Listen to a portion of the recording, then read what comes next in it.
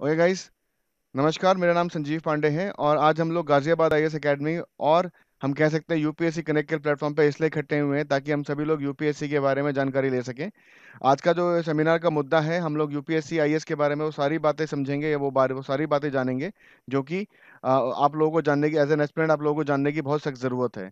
UPSC के बारे में मैं आप सभी लोगों से वन बाय वन नाम लूँगा, आप अपने माइक को इनम्यूट करेंगे और अपनी इंट्रोडक्शन देंगे। तो शुरुआत करते हैं। पूजा विश्वास प्लीज़ सामने आइए और प्लीज़ अपना इंट्रोडक्शन दीजिए। Pooja Vishwas one by one please आप कहाँ से जुड़ रही हैं ये ज़रूर बताइएगा। पूजा विश्वास सुन पा रहे हैं आप? आई थिंक ऑडिबल नहीं है। आ, सोनाली आप प्लीज़ अनम्यूट कीजिए और हाँ जी। सोनाली? दीपक कुमार जी वेलकम आप सभी का बहुत हेलो हाँ ये Sonali please go ahead please introduce good evening good evening please introduce yourself e- sonali sharma hmm i have done my uh, bsc cardiovascular technology hmm and i have started uh, my coaching from ghaziabad ias Okay, that's now good. Good enough. Panchak Pankaj Nayak, welcome to the class. Uh, Atif Raja, welcome to the class. Okay. Vishant Kumar आप सभी लोगों का स्वागत है please आप लोग अपना chat पे अपना प्लीज़ अपना नाम और नंबर नाम और अपना लोकेशन प्लीज़ डाल दीजिए। ठीक है कुछ लोग हैं जिनका अभी लोके अभी आइडेंटिटी नहीं है हम लोगों के पास। प्लीज़ अपनी आइडेंटिटी रिवील कीजिए। One plus seven pro please आप बताइए आप कौन है कहाँ से जुड़े हुए हैं? अदरवाइज़ मुझे आपको क्लास से बाहर निकालना पड़ेगा। Security reason are there Hello, uh, sir Rahul Rana this side. The class ठीक है समझ गया मैं। D Abhaya Kumar is Yes, sir. Sir from Vaishali itself only. Okay okay D Abhaya Kumar welcome to the class and so many people are connecting here and it's it's going to be a you know big big seminar ठीक है? तो शुरुआत करते हैं आज की class की। आप सभी लोग प्लीज़ आप लोग अपनी बताइए कि आप लोग यूपीएससी के बारे में क्या जानते हैं और किस तरीके से आप चाहते हैं कि आप प्रिपेयर कर, या किस तरीके से आप प्रिपेयर कर रहे हैं। किसी को कोई बात स्टार्टिंग में कहनी तो प्लीज़ मुझसे पूछ लीजिए, क्योंकि एक बार जब मैं पीपीटी पे जाऊँगा तो मैं सारी चीज़ें एक्सप्लेन करने के बाद ही क्वेश्चन पिकअप कर पाऊँगा। आप लोग सुन पा रहे हैं? अगर हाँ यस विक्रम गो हेड क्या कहना चाहते हैं आप? Hello can you hear me guys please अपने कैमरेज को ऑन कर दीजिए because it's not good to talk with you know dark screen please अपने कैमरेज को ऑन कीजिए सामने आइए प्लीज़ आप लोग ठीक है? Because it's going to be one to one conference otherwise हम लोग फ़ोन पे भी बात कर सकते थे वेरी गुड प्लीज़ अपने कैमरेज को ऑन कीजिए. Welcome Rahul Rana welcome Sonal Yadav welcome Pankaj Nayak आप लोग तमाम जगह जुड़े हैं Vikas. Yes Vikas please open up your camera Vikram Gupta Deepak Krishna Payal Abhay Kumar.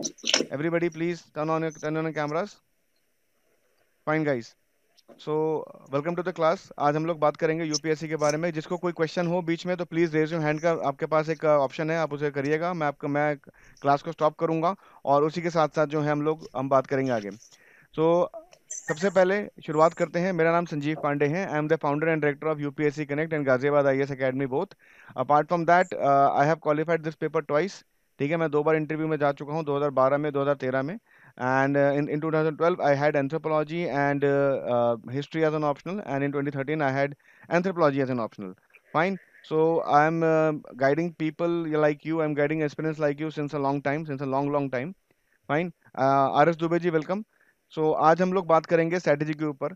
UPSC को क्वालिफाई करने के लिए सबसे इंपॉर्टेंट स्किल क्या चाहिए आप लोगों के हिसाब से? Please one by one Abhimanyu UPSC qualify सबसे यूपीएससी क्वालिफाई करने के लिए पहली सब, सबसे इंपॉर्टेंट स्किल क्या चाहिए आपको? सबसे इंपॉर्टेंट स्किल क्या चाहिए? Hard work, sincerity and concentration. Concentration okay ये ये ये तो ये तो ये तो ये तो साइकोलॉजिकल फैक्टर हुए मैं मैं स्किल की बात कर रहा हूँ। स्किल क्या होती है?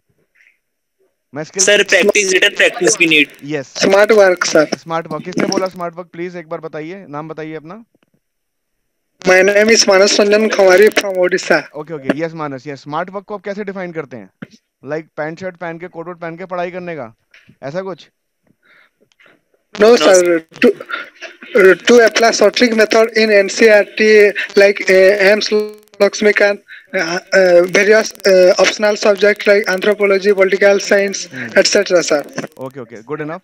Guys देखो आजकल जो है हर कोई हर कोई जो है स्मार्ट वर्क की बात कर रहा है स्मार्ट वर्क को डिफाइन करने की कोशिश कर रहा है but what is smart work smart work is basically is it is a sort of organised work UPSC का अगर आप सिलेबस देखोगे तो यूपीएससी और एसएससी में जो डिफरेंस होता है, वो ये होता है कि यूपीएससी में एसएससी में आपसे पूछा जाएगा कि भैया आर्टिकल 19 बताओ तो आर्टिकल 19 के छः छः छः सब सेक्शंस हैं।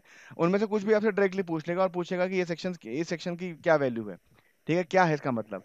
बट यूपीएससी जब आपसे क्वेश्चन पूछेगा आर्टिकल 19 पे तो उसके उसके बैकग्राउंड से लेके, उसके फोरग्राउंड से लेके, उसकी एक प्रॉपर व्याख्या या प्रॉपर एक्सप्लेनेशन के बारे में बात करेगा। तो पहली चीज़, जब भी यूपीएससी में कोई चीज़ आप पढ़ रहे हैं जीएस के अंदर जो भी चीज़ आप पढ़ रहे हैं, आप लोग एक चीज़ प्लीज़ एक एक बात प्लीज़ ध्यान रखिएगा। आपको एक काम बहुत इंपॉर्टेंट तरीके से करना है, किसी भी चीज़ को ओपन नहीं छोड़ना है। ओपन एंडेड किसी भी चीज़ को नहीं छोड़ना है। आप समझ रहे हैं मेरी बात? ओपन एंडेड किसी चीज़ को नहीं छोड़ना। जनरली हम बच्चों के साथ क्या दिक्कत होती है, मैंने जनरली कई सालों से मैं बच्चों को गाइड कर रहा हूँ और मैंने ये चीज़ नोटिस करी है कि बच्चे क्या करते हैं, आज पॉलिटी पढ़ रहे हैं, दो दिन पॉलिटी पढ़ी, उसके बाद उब गए, उसके बाद उन्होंने कोई और सब्जेक्ट ओपन कर दिया। तो ऐसे क्या होगा? कुछ टाइम के बाद आपको दिखेगा कि आपके सारे सब्जेक्ट्स ओपन है क्लोज कोई नहीं हुआ। और जब क्लोज कोई नहीं हुआ, इसका मतलब क्या होता है कि आपके सारे सब्जेक्ट ओपन एंडेड हैं और आप लोगों ने खिचड़ी पका दी है। मैंने स्मार्ट वर्क अभी एक बच्चे ने बोला, मानस ने उड़ीसा से हमसे जुड़े हैं, उन्होंने हमसे बोला कि हमें जो है स्मार्ट वर्क करना चाहिए। स्मार्ट वर्क की जो बेसिक डेफिनेशन है स्मार्ट वर्क की जो बेसिक डेफिनेशन है, वो ये है, वो ये है कि हमें कोई भी चीज़ ओपन एंडेड नहीं छोड़नी है। दूसरी चीज़ ऑर्गेनाइज का मतलब क्या होता है? वेल ऑर्गेनाइज्ड वेल ऑर्गेनाइज का मतलब क्या होगा? कोई बताएगा कि हम बहुत well organise sir systematic way systematic way sir systematic way में होने चाहिए सारी चीज़ें। हाँ सिस्टमैटिक वे तो सिस्टम को कैसे डिफाइन करोगे आप? How you define a system in UPSC क्या पढ़ना है क्या नहीं पढ़ना है उसका पता रखना नहीं ये ये तो proper arrangement of all materials notes modules yes अब किस तरीके से पढ़ना है किस टाइमिंग में पूरा शेड्यूल बना ओके ओके ठीक है। तो ये शेड्यूल तो हम लोग वैसे we all are Indians and we are very good at making strategies बहुत अच्छे हैं हम लोग स्ट्रेटेजी बनाने में। बहुत अच्छे आप पे पेन पेपर लिया बना डाला कि डेढ़ साल में यूपीएससी क्रैक हो जाएगा बट अल्टीमेटली वो एग्जीक्यूट नहीं हो पाती है। ये बात आप अग्री करते हैं कि हम लोग एग्जीक्यूशन में कुछ ज़्यादा अच्छे नहीं है? When it comes to execution execution में हम लोग हम लोग हम लोग थोड़ी सी Yes, थोड़ी थोड़ी सी ढिलाई बरतते हैं। तो आप एक बात समझिए सर मैं यहाँ पे मैं यहाँ पे जो आपसे जुड़ा हूँ मैं आप मैं आपसे उन उन तमाम तरह की चीज़ों पर डिस्कस करने वाला हूँ जो कि एक तरह की कमी होती है यूपीएससी एस्पिरेंट्स के अंदर। ठीक है? अगर आप लोग इन सभी चीज़ों का ध्यान रखेंगे तो आप लोगों की पढ़ाई जो है आप लोगों की पढ़ाई जो है बहुत बेहतर हो जाएगी और बहुत बेहतर तरीके से आप इसमें आगे बढ़ पाएँगे। ठीक है? मैं अगेन आप लोगों से रिक्वेस्ट कर रहा हूँ जिसके कैमरे ओपन नहीं है प्लीज़ अपने कैमरे ओपन कर लीजिए because I don't like to talk with dark screen please ठीक है जिसके अगर किसी की टेक्निकल प्रॉब्लम है that's another part but please अपने कैमरे ओपन कर लीजिए ताकि मैं भी आप लोगों को अगलो आप लोगों से एक तरीके से फेस टू फेस बात कर सकूँ। करेक्ट सो गाइज़ यूपीएससी में क्वालिफाई करने के लिए देखो हमारे पास तीन स्टेजेस होती हैं प्रीलिम्स होता है मेंस होता है इंटरव्यू होता है ठीक है? तो प्रीलिम्स के लिए मेरे हिसाब से आपको हंड्रेड हंड्रेड डेज़ से हंड्रेड हंड्रेड हंड्रेड डेज़ से हंड्रेड ट्वेंटी डेज़ के ऊपर नहीं देने चाहिए मतलब फोर मंथ्स अब आप बोलोगे सर फोर मंथ्स के अंदर प्रीलिम्स कैसे प्रिपेयर हो जाएगा? और वही मैं बोलता हूँ मेंस के लिए कम से कम आपको सात से आठ महीने देने चाहिए। तो ये एक, ये जो टाइम लाइन हमने डिफाइन की है, सात, अगर आप आठ महीने और चार महीने को डिवाइड को जोड़ दोगे तो आपके बारह बारह बारह महीने पूरे हो जाते हैं मतलब एक साल पूरा हो जाता है। यूपीएससी में अगर आप ओवरऑल सब्जेक्ट देखोगे, अगर आप जीएस को ब्रेक डाउन करते हो तो अकेले ट्वेंटी सब्जेक्ट खाली जीएस में निकल आते हैं। उसके बाद अगर आप ऑप्शनल को जोड़ दो उसके अंदर, उसके बाद आप सी को जोड़ दो, उसके बाद क्वालिफाइंग को जोड़ दो तो आपके पास टोटल जो है 25 से 26 सब्जेक्ट्स होते हैं। और अगर आप साल, अगर आप एक महीने में एक भी सब्जेक्ट करते हैं, तब भी आपको 26 महीने चाहिए। 26 महीने मतलब दो साल से थोड़ा ऊपर टाइम चाहिए। तो इतना टाइम क्या आप लोग लगाने में इंटरेस्टेड हो? या आप लोग चाहते हो कि इसको इसको हम फास्ट फॉरवर्ड तरीके से करें आगे चल के? कोई है तरीका? No sir. कोई है तरीका fast forward sir first attempt first attempt वाला चाहिए। फ़र्स्ट अटेम्प्ट में पेपर हो जाना चाहिए। How many of how many of you agree with this thing कि फ़र्स्ट अटेम्प्ट में पेपर हमारा क्वालिफाई हो जाना चाहिए? प्लीज़ रेज योर हैंड्स काफ़ी लोग होंगे इसके Yes, अंदर। ठीक है सोनल यादव ने हैंड रेज किया आईफोन से कोई जुड़ा है उन्होंने हैंड रेज किया महिमा चौहान ने किया। तो ये फ़र्स्ट अटेम्प्ट में कैसे होगा पेपर क्वालिफाई कोई जादू की कोई कोई जादू की छड़ी कोई कोई कोई स्पेशल चीज़ कोई रजनीकांत जैसी कोई पावर हमारे पास ऐसा कुछ? लेंगे। सर सर फ़र्स्ट टाइम में क्लियर जब होगा जब प्रिपरेशन प्रीलिम्स एग्ज़ाम की दो तीन साल पहले तैयारी शुरू होनी चाहिए। एग्जैक्टली exactly, बहुत बड़ी बात बोली। दो तीन साल दो तीन साल मतलब हज़ार दिन के ऊपर आसपास आप, आप बात कर रहे हैं। देखो मन सर आफ्टर ट्वेल्थ जैसे हम लोग तैयारी कर रहे हैं हाँ। ग्रेजुएशन कर रहे हैं आफ्टर ग्रेजुएशन हम देखिए, तैयारी सोनल आपने जो बात बोली ग्रेजुएशन के साथ जो बच्चा तैयारी करता है that is the best way out but कुछ लोग हमारे साथ ऐसे भी हैं जो ग्रेजुएशन कर चुके हैं जो नौकरी कर रहे हैं इस टाइम पे। जो जो, जो कुछ लोग कुछ लोग ऐसे भी हैं जो जो इस टाइम पे हम कहते हैं कि जो मैरिड हैं इस टाइम पे जिनकी जिनकी जिनकी जिनकी जिनकी जनरेशन आगे बढ़ चुकी है। कुछ लोग ऐसे भी हैं जो हाउस वाइफ्स हैं कुछ लोग ऐसे भी हैं जो बिज़नेस में इन्वॉल्व हैं बट सबकी एस्पिरेशन है सब कहीं ना कहीं चाहते हैं कि वो आई बने। सब चाहते हैं कि यूपीएससी का पेपर क्वालिफाई हो और क्यों इस पेपर में इतना चाम है? बिकॉज़ ये पेपर एक ऐसा पेपर है जिसमें सभी के, सभी सभी तरह की पढ़ाई के लोगों को सरकार बुलाती है और बोलती है, अगर आप में एलिजिबिलिटी है, अगर आप में कैपेबिलिटी है तो आप इस पेपर को क्वालिफाई कीजिए। गवर्नमेंट ऑफ़ इंडिया आपको इंडिया की सबसे बेहतर, सबसे प्रेस्टिजियस नौकरी प्रोवाइड करेगी। सबसे पावरफुल नौकरी प्रोवाइड करेगी। Over the period of time आप जब जब आपकी प्रमोशन होते चली जाती हैं जब आप सेक्रेटरी लेवल पे पहुँच जाते हो जब आप सुपरिटेंडेंट से ऊपर बढ़ के आप डीआईजी आईजी लेवल पे पहुँच जाते हो तो आपकी जो रोल्स एंड रिस्पॉन्सिबिलिटी है बहुत ज़बरदस्त है। तो अगर आपकी एक्सपेक्टेशन है कि यूपीएससी के से कि भैया वो आपको एक नौकरी दे दे बहुत अच्छी सी तो यूपीएससी की भी कुछ एक्सपेक्टेशन होंगी आप आपका आप, आपसे? ऐसे तो नहीं दे सकते किसी को नौकरी? Yes, क्योंकि हर साल करीब Yes, क्योंकि एक क्योंकि एक डेटा मैं बताता हूँ हर साल करीब दस लाख बच्चे पेपर पेपर पेपर भरते हैं खाली फॉर्म भरते हैं। पाँच लाख बच्चे प्रीलिम्स प्रीलिम्स को अपियर करते हैं। पाँच लाख में से करीब पंद्रह हज़ार बच्चे प्रीलिम्स क्वालिफाई करते हैं। पंद्रह हज़ार बच्चे मेंस लिखते हैं, इसमें तीन हज़ार बच्चों को इंटरव्यू कॉल आता है और अल्टीमेटली करीब करीब एक हज़ार बच्चों का सिलेक्शन होता है। तो दस लाख से एक हज़ार।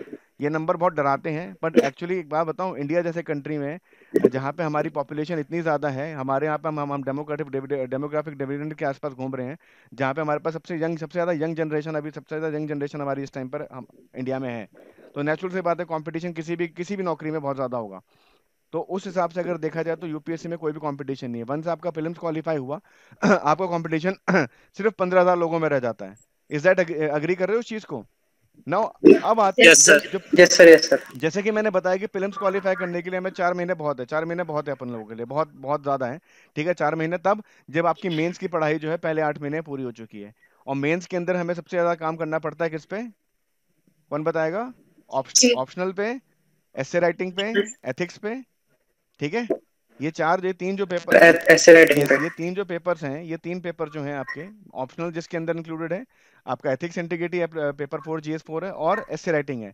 अगर आप इन तीनों को ढंग से कर लेते हो तो आपके 1000 मार्क्स आउट ऑफ़ 1750 प्रिपेयर हो जाते हैं क्योंकि मेंस एग्जामिनेशन 1750 का होता है। आप लोगों को पता है ना ये चीज़? या मैं आपको पूरा पैटर्न बताऊँ? पैटर्न किसको नहीं पता? किसको नहीं पता? sir, पता है पैटर्न सब लोगों को पता है ना कि भाई प्रीलिम्स में कितने कितने मार्क्स पैटर्न मुझे मुझे नहीं पता मैं बिल्कुल नया हूँ मतलब कोई बात नहीं शुरू समझ जाना चाहता हूँ। नहीं दीपक जी मैं आपको बताऊँगा। मैं अभी कुछ बच्चों को उनके उनसे नाम पूछ रहा हूँ क्योंकि उनका नाम मुझे चेंज करने पड़ेंगे अदरवाइज़ सिक्योरिटी रीजन है। आप प्लीज़ रिप्लाई कीजिए मेरे को इस पे चैट पे। एक four six one five E F F E F double A से एक बच्ची जुड़ी है अपना नाम बताइए बेटा। और और मैं देखता हूँ किसी का नाम अननेम ना हो, क्योंकि ये सिक्योरिटी रीजंस की वजह से हमें ये- प्रोटोकॉल फॉलो करने पड़ते हैं। ठीक है, एक मिनट में दूसरे पेज पे भी देख लूँ, काफ़ी बच्चे जुड़ चुके हैं हमसे। दुबे जी, नमस्कार। एक 11 पीएनएल से नाम से जुड़े हैं, अपना नाम बताइए। अदरवाइज़ मुझे आपको प्लीज़ क्लास मुझे आपको क्लास के बाहर निकालना पड़ेगा। आप प्लीज़ अपना नाम बताइए, मैं आपको चैट पे मैं भेज रहा हूँ, अपना नाम बताइए please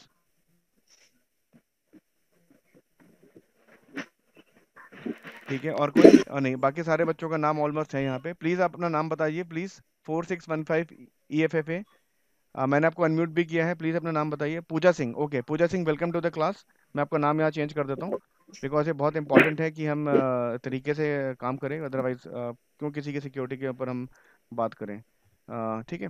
Okay Pooja Singh welcome to the class okay तो हम लोग बात कर रहे थे, अब हम, मैं, अब मैं आप लोगों को, ठीक है गाइस एक पाँच दस मिनट का हम हम स्लॉट लेंगे, जिसके अंदर मैं आपको पैटर्न समझाऊँगा बहुत क्विक तरीके से, और पैटर्न के अंदर ही पीपीटी के अंदर ही मैं सारे tips and tips and tricks आपको बताता चला जाऊँगा।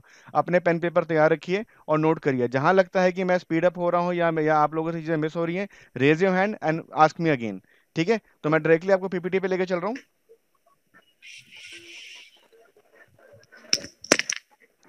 ओके गाइस पीपीटी विजिबल है आप सबको? पीपीटी विजिबल है आप सबको? ओके तो गाजियाबाद आई एस अकेडमी की ये पीपीटी है और ये ये स्टार्टिंग होती है मेरे से स्टार्ट होती है। पहले क्योंकि आप जिस जिस जिस टीचर के नीचे आप पढ़ रहे हो या समझ रहे हो बात उसी क्वालिफिकेशन जानना बहुत ज़रूरी होता है। तो मैं founder and founder and director हूँ Ghaziabad I S academy UPSC connect दोनों का। को फाउंडर हूँ गुड़गांव आई एस अकेडमी में। वैद आई की टीम की टीम का मेंबर हूँ मैं। एक्स फैकल्टी हूँ Vedanta I and vision I का और कई सालों का मेरे पास एक्सपीरियंस है बच्चों को पढ़ाने का। साथ ही साथ हमारी टीम में और भी कुछ लोग हैं लाइक मिस्टर धर्मपाल जी हैं मिस्टर संतोष हैं ये सभी लोग बहुत एक्सपीरियंस है in the same field mister Dharampal ji जो है एग्जीक्यूटिव मजिस्ट्रेट रिटायर हुए हैं हरियाणा गवर्नमेंट से। इसके बाद मिस निशा नेजा है लिशा लिशा नेजा जी हैं ये आप, आप लोगों की काफ़ी लोग काफ़ी बच्चों की इनसे बात हुई होगी। She is here for main you know main answer writing and personality development part then we have mister N K Vaid sir ये हमारे गुरु हैं और ये ये हमारे साथ जुड़े हुए हैं ये हमारे हमें जगह जगह हमें हेल्प करते हैं और आप लोगों को भी हेल्प करेंगे ठीक है?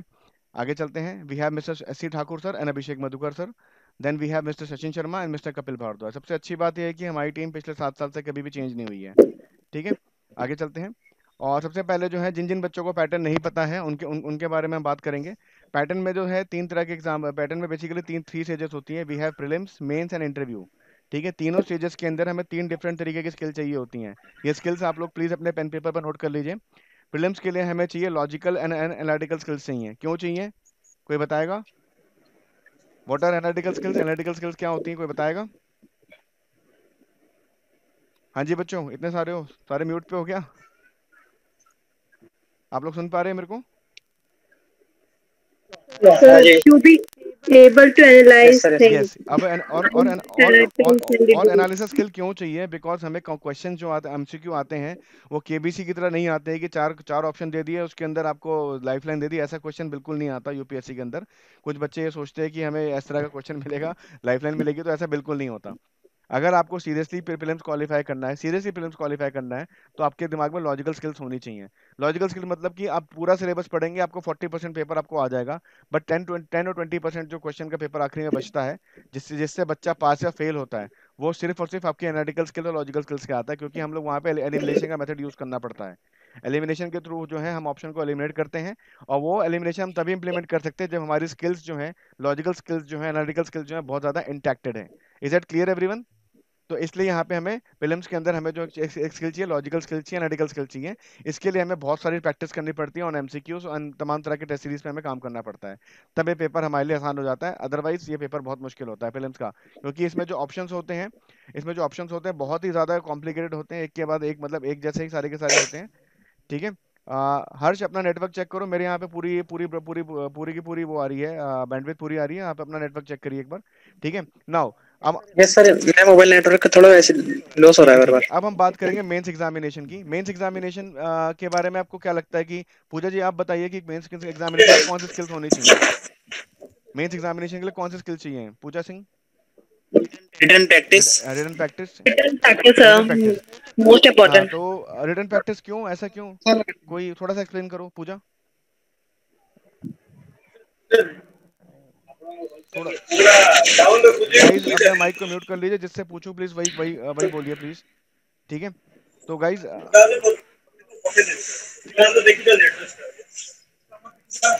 हाँ जी गाइस तो रिटन प्रैक्टिस रिटन प्रैक्टिस का मतलब क्या होता है कि हमें आंसर राइटिंग करनी पड़ती है हमें ऐसे राइटिंग करनी पड़ती है। तो वो तो हम बचपन से करते आ रहे हैं। तो जो हम बचपन से अपने अपने ग्रेजुएशन में करते आ रहे हैं अपने माइक म्यूट कर लीजिए प्लीज़ मैं अगेन आपसे रिपीट कर रहा हूँ। ठीक है? हम लोग बचपन से जो आंसर राइटिंग प्रैक्टिस करते आ रहे हैं और जो हम अभी आंसर राइटिंग करेंगे उसमें क्या फ़र्क होता है? ऐसे राइटिंग में क्या फ़र्क होता है? Yes mister Abhimanyu.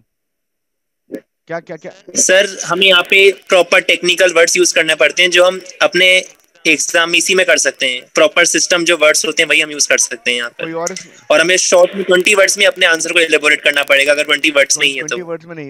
एक्चुअली अब अब अब अब हमारे पास दो तरह के डिनोमिनेशन आते हैं। एक साढ़े बारह नंबर का आता है जिसके अंदर डेढ़ सौ वर्ड लिखने होते हैं और एक पंद्रह नंबर का आता है जिसके अंदर हमें ढाई सौ वर्ड लिखने होते हैं। दो तरह के डिनोमिनेशन है इस टाइम पे। Short and concise short and concise short and concise sort of of तो यूपीएससी में देखो हम लोग जो है हम लोग हम सभी लोग बच्चे ग्रेजुएशन कर रहे हैं या कर चुके हैं।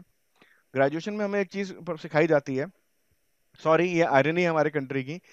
लगभग 90 परसेंट कॉलेज में चीज़ बताई जाती है कि जितना लिखोगे उतने अच्छे उतने अच्छे मार्क्स मिलेंगे। आप लोग अग्री करते हो? अग्री करते हो चीज़? यस है ना? मैक्सिमम कॉलेजेस में यही यही चल रहा है आज की डेट में। तो एक्चुअली में बच्चा क्या कर रहा है? बच्चा वहाँ पे कंटेंट जो है अगर आपसे सपोज़ करो कुछ कोई चीज़ पूछी गई लेट से कि पूछ लिया गया राफेल के व्हील के बारे में बताओ।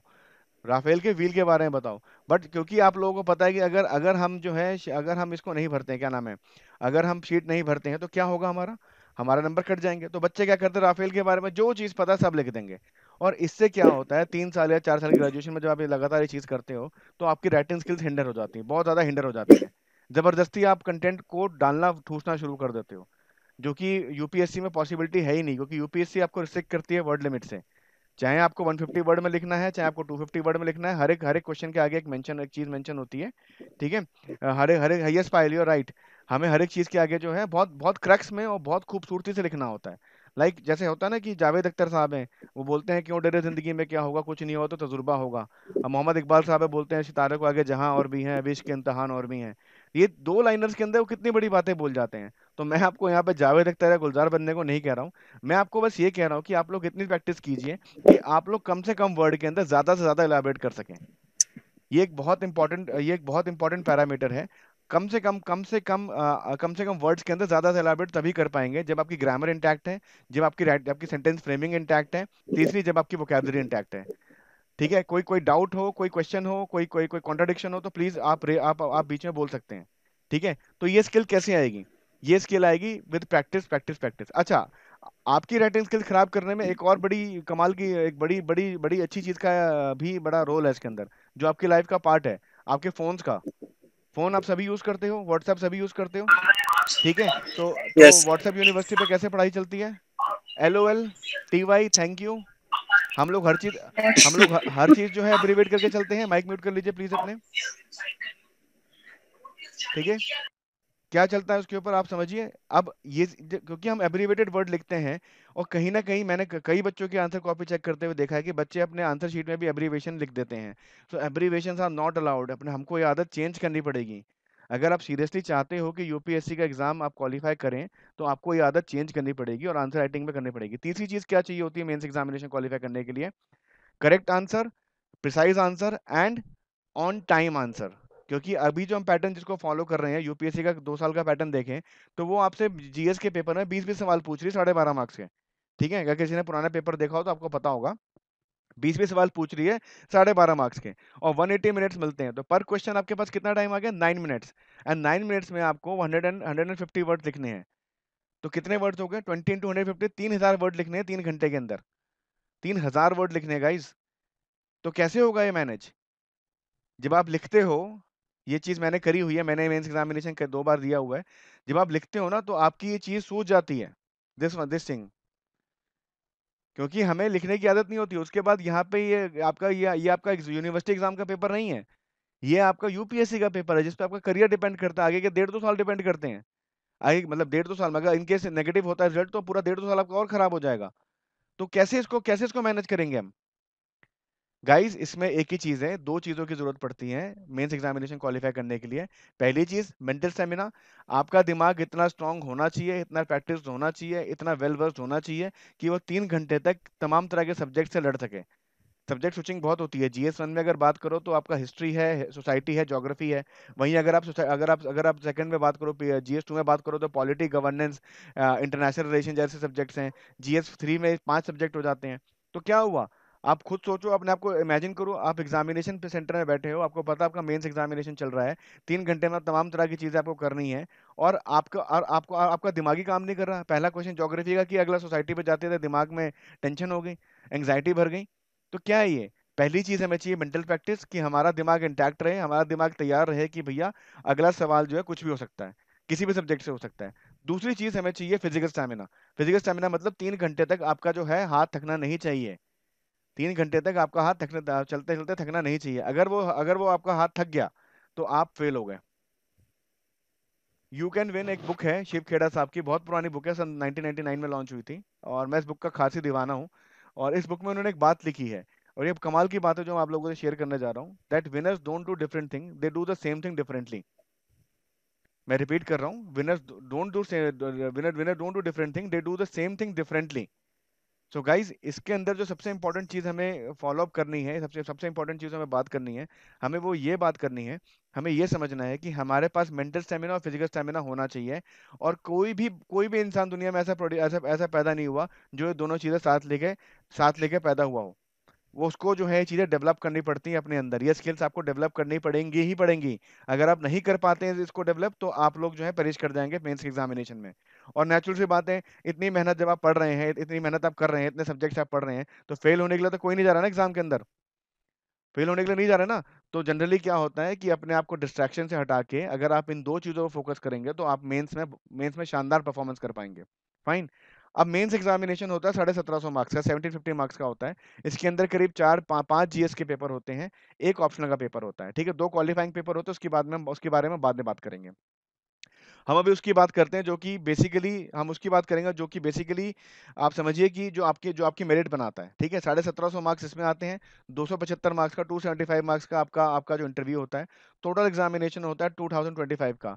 और अगर एक जनरल जनरल कैंडिडेट जो है, हज़ार मार्क्स के आसपास इसमें ले पाता है वन थाउज़ेंड मार्क्स अगर वो फेच कर पाता है या कर पाती है तो उसका कॉलेज उसका उसका सिलेक्शन हंड्रेड परसेंट हो जाता है in top hundred in top hundred की बात कर रहा हूँ टॉप हंड्रेड मतलब I A S I P S and I F S तीन तरह की सर्विस होती है ऑल इंडिया सर्विस जो कि टॉप सर्विस मानी जाती है यूपीएससी के अंदर। वैसे चौबीस सर्विसेज़ ऑफ़र करता है बट जो तीन सर्विसेज़ होती हैं वो टॉप सर्विसेज़ होती हैं। टॉप सर्विस मतलब समझ रहे हैं? जिसके अंदर आईएएस होता है भारतीय प्रशासनिक सेवाएँ भारतीय पुलिस सेवाएँ भारतीय विदेश सेवाएँ। Indian administrative services Indian police services and Indian foreign services ठीक है? इंडिया में बस तीन ही ती, तीन ही हैं ये। और ऐसी ऐसी यही यही जॉब है जिसके लिए बेसिकली आप अपने अपने आप फॉर्म भर रहे हैं या तैयारी करने की सोच रहे हैं।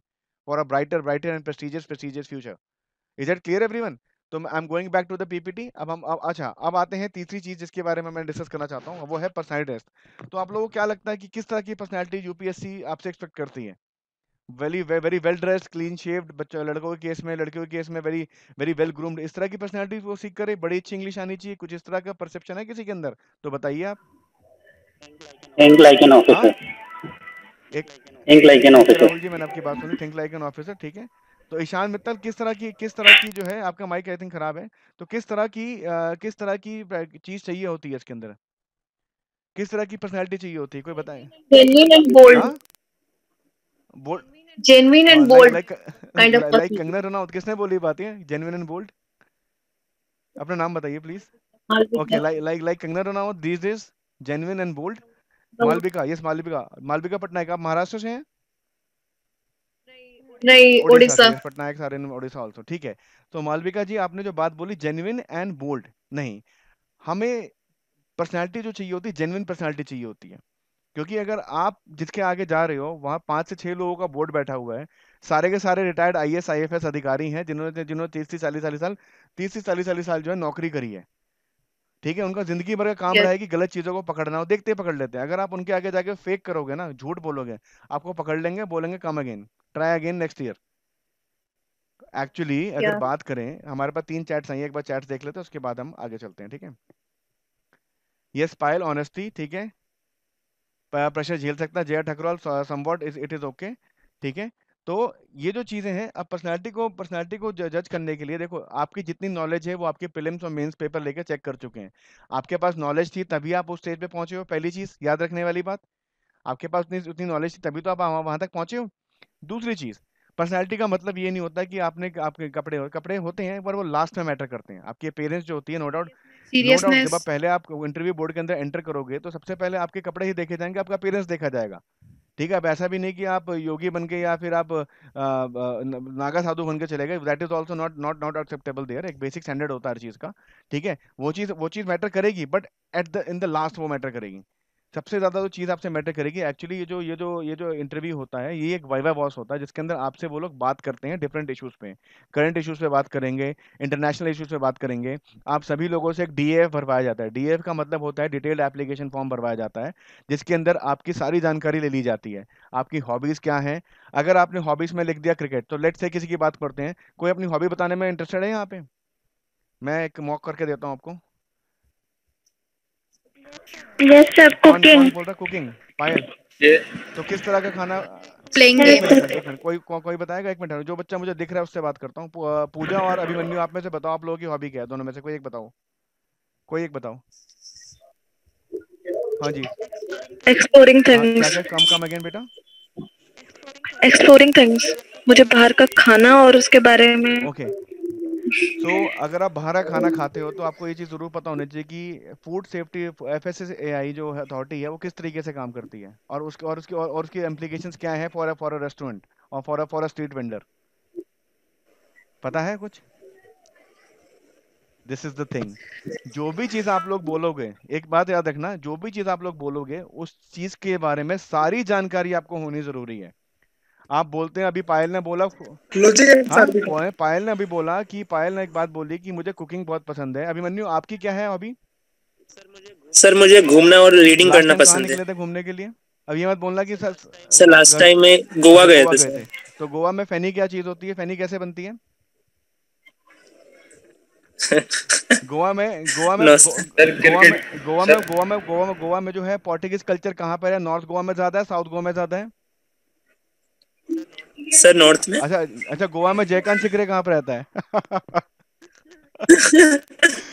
Okay okay guys jokes apart देखो अब आप जहाँ घूमने गए ठीक है? आप जहाँ पे आप घूमने गए अभिमन्यु आप घूमने गए या पूजा सिंह की बात कर पूजा जी की बात लेते हैं आप जो भी कर रहे हैं इस टाइम पे आप जो भी कर रहे हैं जो भी आपकी हॉबी है उसके बारे में सब कुछ आपको जानना ज़रूरी है। अगर कोई बच्चा बोलता क्रिकेट खेलता हूँ तो क्रिकेट के बारे में सारी जानकारी होनी ज़रूरी है क्योंकि वो आपसे इस तरह से क्वेश्चन पूछेंगे। और आप हॉबी जो होती है वो आउट ऑफ़ कंपल्शन ही आउट ऑफ़ कन्विक्शन होती है याद रखिएगा। हॉबी जब भी होती है वो आउट ऑफ़ कन्विक्शन होती है नॉट आउट ऑफ़ कंपल्शन नहीं होती। किसी के पापा नहीं बोलेंगे जा बेटा क्रिकेट खेल अपने क्रिकेट को हॉबी बना।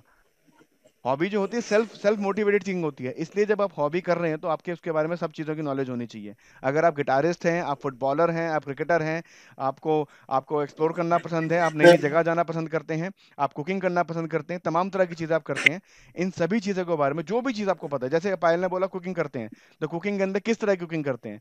तो ऑर्गेनिक फ़ार्मिंग क्या होती है? वहाँ से वहाँ से एक एक सेक्शन निकल जाएगा, आपका एग्रीकल्चर की तरफ़ निकल जाएगा। आपका एक एक एक, एक चीज़ चला जाएगा मसालों की तरफ़ चला जाएगा। मसाले एक ऐसी चीज़ है इसके चक्कर में पूरा आधा वर्ल्ड जो है कॉलोनाइज हो गया था एक टाइम पे। इंडोनेशिया हमारा कंट्री खुद से। अगर आप मॉडर्न इंडिया पढ़ेंगे तो आपको ये चीज़ समझ में आएगी। तो इंटरव्यू में पहली चीज़ आपको ऑनेस्ट होना है। और ऑनेस्ट होने के लिए जो आपको आपने जो वहाँ पे डीएफ में जो भरोगे ना उसको जब तक आप प्रैक्टिस नहीं करोगे तब तक आप उसके अंदर ऑनेस्टी से भर नहीं सकते हो। दूसरी बात आपका जो स्टेट होगा आपके स्टेट के बारे में बहुत जानकारी ली जाएगी। आपके स्टेट के बारे में आपके नाम के बारे में आपके कास्ट के बारे में। सोसाइटी, आपके घर के आसपास जो प्रॉब्लम्स है, उसके बारे में कंटेम्प्रेरी जो इशू चल रहे हैं, जैसे अगर आपका आज इंटरव्यू होता है फॉर फॉर टाइमिंग कोविड के बारे में पूछ लेंगे आपसे। कल एस की मीटिंग हुई जिसमें अजीत डोभाल उठ के चले गए, जिसकी वजह से रशिया ने जो है लताड़ दिया पूरा का पूरा पाकिस्तान को, क्योंकि उसने बहुत गलत नक्शा जो है प्रिंट कर रखा था। जबकि पहले से हिदायत थी कि आप लोग आपसी आपसी आपसी झगड़ों को इसमें आप नहीं बात करोगे।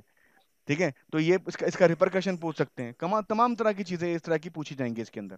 तो इंटरव्यू के लिए सिंपल सी बात है एक चीज़ होती है called observational power observational power पता क्या होता है?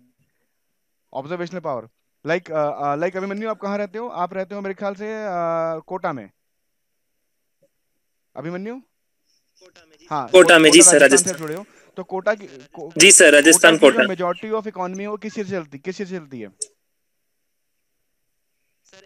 सर एजुकेशन एजुकेशन में भी ऐसा only city it is a coaching coaching hub है सर कोचिंग एग्रीकल्चर में एग्रीकल्चर में क्या स्टेटस है कोटा का? रे, रेनफॉल कितनी है?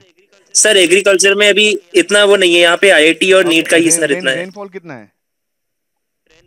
रेनफॉल सर ऑलमोस्ट अपने सेवेंटी टू सिक्सटी सेंटीमीटर और कमाल की बात है कोटा की हिस्ट्री क्या है? गाइस जिस जगह जिस कोटा की? जी, आप शायद गाजियाबाद से हैं। गाजियाबाद गाजियाबाद क्यों कहा जाता है? गाजियाबाद को गाजियाबाद क्यों कहा जाता है? सर यहाँ पे मोहम्मद गाजी का वो था किंगडम आपसे नहीं पूछा जिससे पूछ रहा उससे बताएँगा। ठीक है शान जस्ट अ मिनट ठीक है ओके गाजियाबाद में हम जब हम कहते हैं कि गाजियाबाद जब एक्सपैंड हुआ गाजियाबाद में क्राइम रेट इतना ऊपर क्यों है?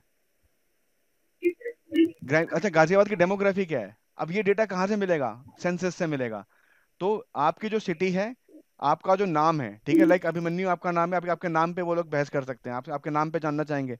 तो ये तमाम तरह की चीज़ें जो है वो आपको होना चाहिए। दूसरी चीज़ आपकी दूसरी चीज़ जिसके बारे में मैंने बात करी वो थी ऑब्जर्वेशनल पावर ऑब्जर्वेशनल पावर क्या होती है?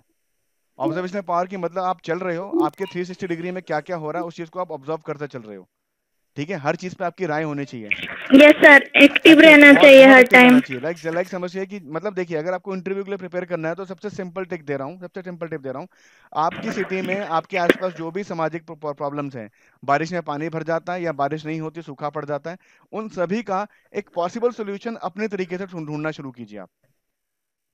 लाइक पूजा आप गाजियाबाद में रहते हो गाजियाबाद में क्राइम एक बहुत बड़ा इश्यू है ठीक है? गाजियाबाद में हम कह सकते हैं गाजियाबाद में एक तरीके से हम कह सकते हैं कि लोगों को ट्रैफ़िक का सेंस नहीं है। ठीक है मैं भी मैं, मैं भी सिटी में रह, रहता हूँ तो मुझे पता है कि यहाँ पे ट्रैफ़िक का सेंस नहीं है। कहीं कोई भी इंसान कहीं से भी घुस आता है। बट जब से अब इसका पॉसिबल सोल्यूशन क्या होगा ट्रैफ़िक को सॉल्व करने का? हर जगह तो हम पुलिस कांस्टेबल खड़ा नहीं कर सकते। तो सोल्यूशन क्या है? टेक्नोलॉजी को लाओ। आज की डेट में देखो आपकी मैक्सिमम ट्रैफ़िक लाइट्स पे जो है आपको कैमरे दिख जाएँगे दिल्ली के। इवन गाजियाबाद में नोएडा में गुड़गांव में। इवन कोटा में राजस्थान के कई सारे कई सारे शहरों में कैमरा लग चुके हैं रेडार्स लग चुकी हैं। आप ओवर स्पीडिंग करो आप रेड लाइट जंप करो आप ट्रिपलिंग करो आपकी नंबर प्लेट टूटी होगी इमीडिएटली चलान काट के आपको आपको आपके आपके घर भेज दिया जाएगा। और उसके बाद क्या है रिपरकशन फ़ोन पे आ जाता है उसके बाद क्या होगा दो महीने के बाद टाइम दिया जाएगा टाइम तक अगर आपने चलान नहीं भरा तो चलान चला गया कोर्ट में। फिर जब आप गाड़ी बेचोगे जब लाइसेंस रिन्यू कराओगे तब आपको बोलेंगे पहले चलान को क्लियर करो उसके बाद ही जो है। अब इससे क्या हुआ इससे आदमी कम लगे और रेवेन्यू बढ़ गया। और सबसे बड़ी बात इंसान का एटीट्यूड चेंज हुआ। सबसे बड़ी बात इंसान का एटीट्यूड चेंज हुआ। तो सबसे बड़ी जो जो जो स्ट्रगल है यूपीएससी के अंदर वो ये है कि आपको अपना एटीट्यूड चेंज करना है। और जो सबसे मुश्किल काम होता है अपना एटीट्यूड चेंज करना सबसे मुश्किल काम होता है। और ये ओवरनाइट ओवरनाइट प्रोसेस नहीं होता ये एक प्रोसेस होता है। तो जैसे जैसे आप पढ़ते जाओगे वैसे वैसे चीज़ों को इम्प्लीमेंट करते जाइए। और जैसे जैसे आप चीज़ों को इम्प्लीमेंट करते जाएँगे वैसे वैसे वैसे वैसे आपका जो है आपका हिसाब किताब बहुत बेहतर होता चला जाएगा। अग्री कर रहे हैं इस चीज़ से? ठीक है? तो मैं वापस से पीपीटी वापस मैं पीपीटी पे जा रहा हूँ। पीपीटी में वैसे कुछ बताने को बचा नहीं मैंने लगभग सब चीज़ें आप लोगों को बता दी है फिर भी एक बार एक क्विक रिव्यू लेते हैं उसके बाद हम नेक्स्ट चीज़ पे चलते हैं। तो यूपीएससी एग्ज़ाम का टाइमलाइन होता है। नोटिफिकेशन हमारा फरवरी से मार्च के बीच में आता है। अगर आप नोट करना चाहते हो नोट कर लीजिएगा। ठीक है नहीं तो इस इन्फॉर्मेशन के लिए आपको बहुत सारा इंटरनेट सर्व करना पड़ेगा। ठीक है? प्रीलिम्स एग्जामिनेशन हमारा जून से लेकर अगस्त के बीच में हो जाता है। मैंने दो डेट इसलिए डाली है क्योंकि आज से चार पाँच तीन चार साल पहले जो है पेपर हुआ था चौबीस अगस्त को। उसके बाद जो है धीरे धीरे ऊपर आने लग गया। मई जून में होने लग गया फिर से। ठीक है? तो एक और कमाल की बात बताता हूँ। प्रीलिम्स एग्जामिनेशन में क्या होता है? एक एक एक रियल लाइफ का एग्जांपल बताता हूँ। जब आप प्रीलिम्स का एग्ज़ाम दे रहे होते हैं तो पहले तो प्रेशर दिमाग में बहुत होता है। ऊपर से अगर आप नॉर्थ इंडिया में रहते हो तो टेम्परेचर बाहर का फोर्टी फोर्टी फाइव डिग्री मई जून के अंदर। उसके बाद आपका खुद का temperature forty forty five degree उसके बाद क्या होता है? आप जिस जिस सेंटर पे जाते हो मोस्ट लाइकली होता है कि वो कोई सरकारी स्कूल पड़ेगा जहाँ पंखे भी नहीं होते पानी ऐसा तो जो आप जो आप लोग पी नहीं सकते, आप लोग हजम नहीं कर सकते हो। तो क्या होगा? स्वेटिंग होगी। स्वेटिंग से क्या होगा? इरिटेशन होगी? प्रेशर तो बहुत हाई प्रेशर बहुत हाई प्रेशर में हमें काम करना पड़ता है बहुत हाई प्रेशर में हमें काम करना पड़ता है। तो ये चीज़ अगर हम पहले से डिफाइन करेंगे तो मैं अपने बच्चों को जनरली बोलता हूँ कि एग्ज़ाम जब है जैसे कि पहले एग्ज़ाम हमारा तीन जून को था तो मैंने अपने बच्चों को बोला था कि तीन मई से अपने कमरों के एसी बंद कर दो पंखे धीरे करो और और, और टेस्ट पेपर लगाना शुरू करो। रियल टाइम में आपको आदत होनी चाहिए। रियल टाइम नहीं नहीं होगी ना? क्योंकि देखो हम जिस एग्ज़ाम के लिए जा रहे हैं वहाँ पे हम लोग किसी भी तरह का सरप्राइज़ अफोर्ड नहीं कर सकते हैं। हमारा दिमाग रेडी नहीं है। हमारा अगर, हमारा कॉन्सेंट्रेशन कहीं भी अगर बिगड़ा, क्योंकि अगर 50 डिग्री टेम्परेचर पे आप जाके पेपर दे रहे हो तो बहुत लाइकली चांसेस है कि आपको ब्लैकआउट हो जाएगा, पानी की कमी की वजह से टेंशन की वजह से। और होता है बच्चों के साथ। बच्चों के साथ ब्लैकआउट हो जाता है एंग्जाइटी से बच्चे ब्लैकआउट कर जाते हैं और उनका पेपर खराब हो जाता है। अच्छे से अच्छे पढ़े लिखे बच्चे, अच्छे से अच्छे स्मार्ट बच्चे जो हैं पेपर के टाइम पे घबरा जाते हैं और ब्लैकआउट करा करा बैठते हैं। ठीक है? अब देखो मेंस एग्जामिनेशन होता है सितंबर दिसंबर के बीच में। अब मेंस एग्जामिनेशन बहुत अच्छा टाइम पर होता है सितंबर में हो जाता है तो बहुत अच्छा टेम्परेचर रहता है ऑल अक्रॉस इंडिया फिर जो इंटरव्यू आपका फरवरी से अप्रैल के बीच में होता है। आप लोग को आवाज़ आ रही है? लैग तो नहीं हो रहा? ओके ठीक जी है सर, आ रही है। रिज़ल्ट जो होते हैं अप्रैल जून के बीच में डिक्लेयर कर दिए जाते हैं। अब अब जो है अप्रैल अप्रैल मार्च अप्रैल के बीच में कर दिए जाते हैं ठीक है? आगे चलते हैं। ये प्रीलिम्स का सब्जेक्ट है प्रीलिम्स का सिलेबस है आप देख सकते हो इसमें सात सब्जेक्ट पूछे जाते हैं आपसे। प्रीलिम्स के अंदर जो है दो मार्क्स के सौ क्वेश्चन आएँगे। माइनस वन बाई थ्री की नेगेटिव मार्किंग रहेगी इसके अंदर। ये चीज़ बिल्कुल याद रखिएगा। नेगेटिव मार्किंग को बिल्कुल इग्नोर मत कीजिएगा। नेगेटिव मार्किंग अगर आप तरीके से काम करेंगे, आप समझ के काम करेंगे तो आपके लिए काम कर सकती है। आपके अगेंस्ट काम नहीं करेगी वो। ठीक है? तो इसके अंदर क्या क्या आएगा? हमारे यहाँ, हमारे जो सब्जेक्ट्स है, इसके अंदर इन्वायरमेंट आएगा जोग्राफी आएगा हिस्ट्री आएगा पॉलिटी आएगा साइंस एंड टेक आएगा इकोनॉमिक्स आएगा एंड करंट अफेयर्स आएगा। इन सारे सेक्शंस को मिला के जो है sorry guys just a minute इन सारे सेक्शंस को मिला के जो है, आपसे हंड्रेड क्वेश्चन पूछे जाएँगे दो मार्क्स के। और मैं एक बता दूँ, जो कट ऑफ़ रहती है जनरल के जनरल के उसमें जनरल की अगर बात करूँ तो मैंने देखा है कट ऑफ़ जो है 55 कट ऑफ़ जो है करीब 55 परसेंट के आसपास रहती है। 55 परसेंट फिफ्टी से 60 परसेंट का आप मान के चलेंगे तो आपका हो जाएगा। उसी उसी तरीके से जैसे जैसे आपकी कैटेगरी चेंज होती जाएगी, वैसे वैसे डिक्लाइन होती चली जाएगी कट ऑफ़ भी। ठीक है? आगे चलते हैं। ये सी सेट का सिलेबस है, आप देख लीजिए।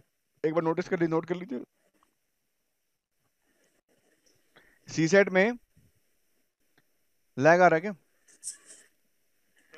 ठीक है। सी सेट में आपको math reasoning comprehension interpersonal skills decision making का पेपर आपको करना पड़ता है। ये पेपर जो होता है क्वालिफाइंग नेचर होता है। क्वालिफाइंग का मतलब ये होता है कि आपको इसमें बस 33 परसेंट नंबर स्कोर करने होते हैं। 33 33 परसेंट नंबर स्कोर करने होते हैं। ठीक है? इसमें आप देखो 80 क्वेश्चन पूछे जाएँगे ढाई मार्क्स के। ठीक है? माइनस वन बाई थ्री की नेगेटिव मार्किंग रहेगी तो आप इसमें से कोई भी दो सेक्शन उठा लीजिए। मैथ रीजनिंग रीजनिंग कॉम्प्रीहेंशन और कॉम्प्रीहेंशन और मैथ्स तीनों में से कुछ भी उठा लीजिए आपका काम हो जाएगा। ठीक है? आगे चलें? आगे चलें? नोट कर लिया? जी सर।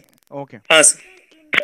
इंटरपर्सनल स्किल्स में क्या क्या टॉपिक आएँगे? जनरली आपके कॉम्प्रिहेंशन के अंदर आपसे जो इंटरपर्सनल स्किल्स जो होती है जनरली आपके आपके जो कॉम्प्रिहेंशन होता है उसके अंदर पूछ लिया जाता है इंटरपर्सनल के मतलब हम मैं और आप कैसे कम्युनिकेट कर रहे हैं। हमारे आपस के बीच में जो इंटरपर्सनल स्किल्स है इसको बोलते हैं इंटरपर्सनल जो हम लोग कम्युनिकेट करते हैं एक दूसरे से। तो बेसिकली ये चीज़ इसके कोई सेपरेट क्वेश्चन आज तक नहीं देखे गए डिसीज़न मेकिंग के कोई भी सेपरेट क्वेश्चन नहीं देखे गए। ये दोनों क्वेश्चन जो होते हैं आपके कहाँ पे ले लिए जाते हैं ये सीधे क्वेश्चन जो आपके आपके कॉम्प्रिहेंशन में डाल दिए जाते हैं। पैसिवली पूछे जाते हैं नॉट एक्टिवली क्लियर है बेटा? Yes sir sir CSAT का हाँ फिर से पूछो आपकी आवाज़ कट गई कौन पूछ रहे हैं सी सेट के बारे में? सर सी सेट का जो मार्क इंक्लूड करते हैं क्या फिलिम्स में? सी सेट एक क्वालिफाइंग पेपर है। अगर फिर अगर आप सी सेट में फेल हो जाओगे तो जीएस के पेपर चेक नहीं करेंगे आपको। आपको एट, आपको 80 में से 20 से- आपको 80 में से 37 33 क्वेश्चन जो है 27 क्वेश्चन आपको करेक्ट अपियर करने होते हैं इसके अंदर। ठीक है? तो ये हमारा है मॉडर्न एग्ज़ाम का आप देख सकते हैं। इसमें हमारे दो दो, दो लैंग्वेजेस कंपलसरी होती हैं। एक लैंग्वेज इंग्लिश कंपलसरी होती है और कोई भी एक ऐसी लैंग्वेज जो इंडियन कॉन्स्टिट्यूशन में डिफाइन है उसमें से आप कोई भी एक ले सकते हैं। जैसे उड़ीसा के बच्चे उड़िया ले सकते हैं पंजाब के बच्चे गुरमुखी ले सकते हैं जो जो जिन बच्चों ने उर्दू सीखी है वो उर्दू ले सकते हैं मैथिली ले सकते हैं हिंदी ले सकते हैं तमाम तरह के सब जो भी सब्जेक्ट जो भी हमारी हमारी लैंग्वेज डिफाइंड है उसको दे सकते हैं। अब आते हैं जीएस के पेपर्स पे। जीएस पेपर वन में आपसे हिस्ट्री जोग्राफी सोसाइटी पूछा जाएगा। ये पेपर ढाई सौ मार्क्स का होगा, और इसके नंबर जुड़ेंगे। इनके नंबर नहीं जुड़ेंगे। ये पेपर भी क्वालिफाइंग इन नेचर होते हैं। मैंने देखो यहाँ मैंने मेंशन कर रखा क्वालिफाइंग इन नेचर है। दैट मींस अगर ये दोनों पेपर क्वालिफाई नहीं करोगे तो यूपीएससी मेंस के बाकी पेपर आपके चेक नहीं करेगा। अगेन रिपीटिंग अगर ये दोनों पेपर क्वालिफाई नहीं होते क्वालिफाइंग पेपर को आप हल्के में ले जाते हो, और गलती से इसमें आप फेल हो जाते हो फ्लंक कर जाते हो तो आपके बाकी पेपर यूपीएससी चेक नहीं करेगा। Is that clear clear everyone ji sir Yes, अब आते हैं जीएस पेपर वन हाँ पूछिए क्या- सवाल है? पूछिए। सर पेपर भी इंग्लिश जो है सर वो किस तरह का टॉपिक का क्वेश्चन आता है sir basic English basic grammar पूछ लेंगे सिनोनिम एंटोनिम्स पूछ लेंगे कॉम्प्रिहेंशन पूछ लेंगे प्रिसाइज राइटिंग पूछ लेंगे। बस बहुत बेसिक होती है।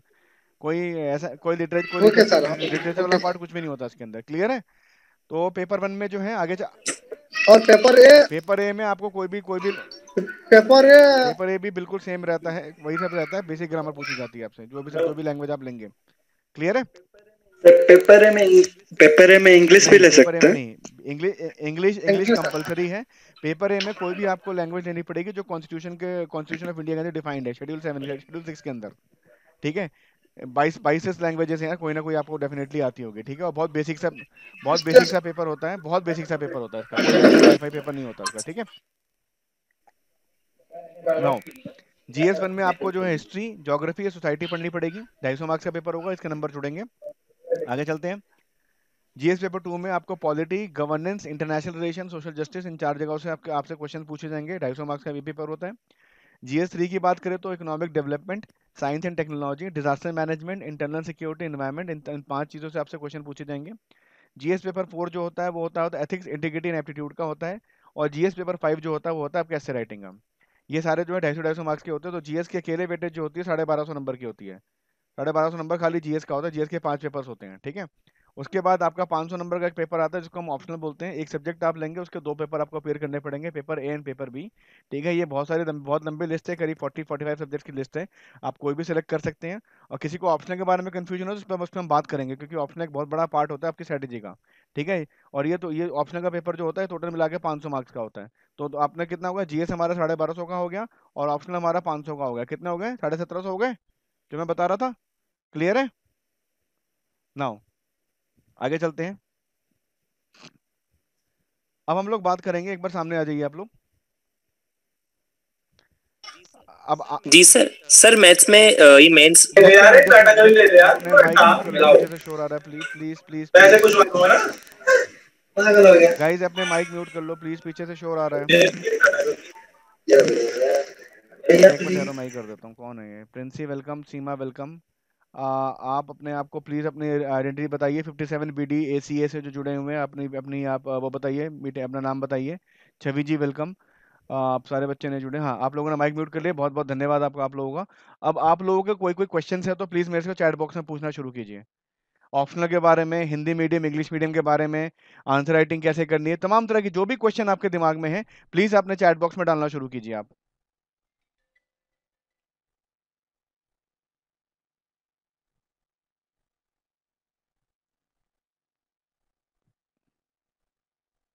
हाँ हमारे पास बहुत सारे क्वेश्चंस आने शुरू हो चुके हैं बहुत अच्छी बात है।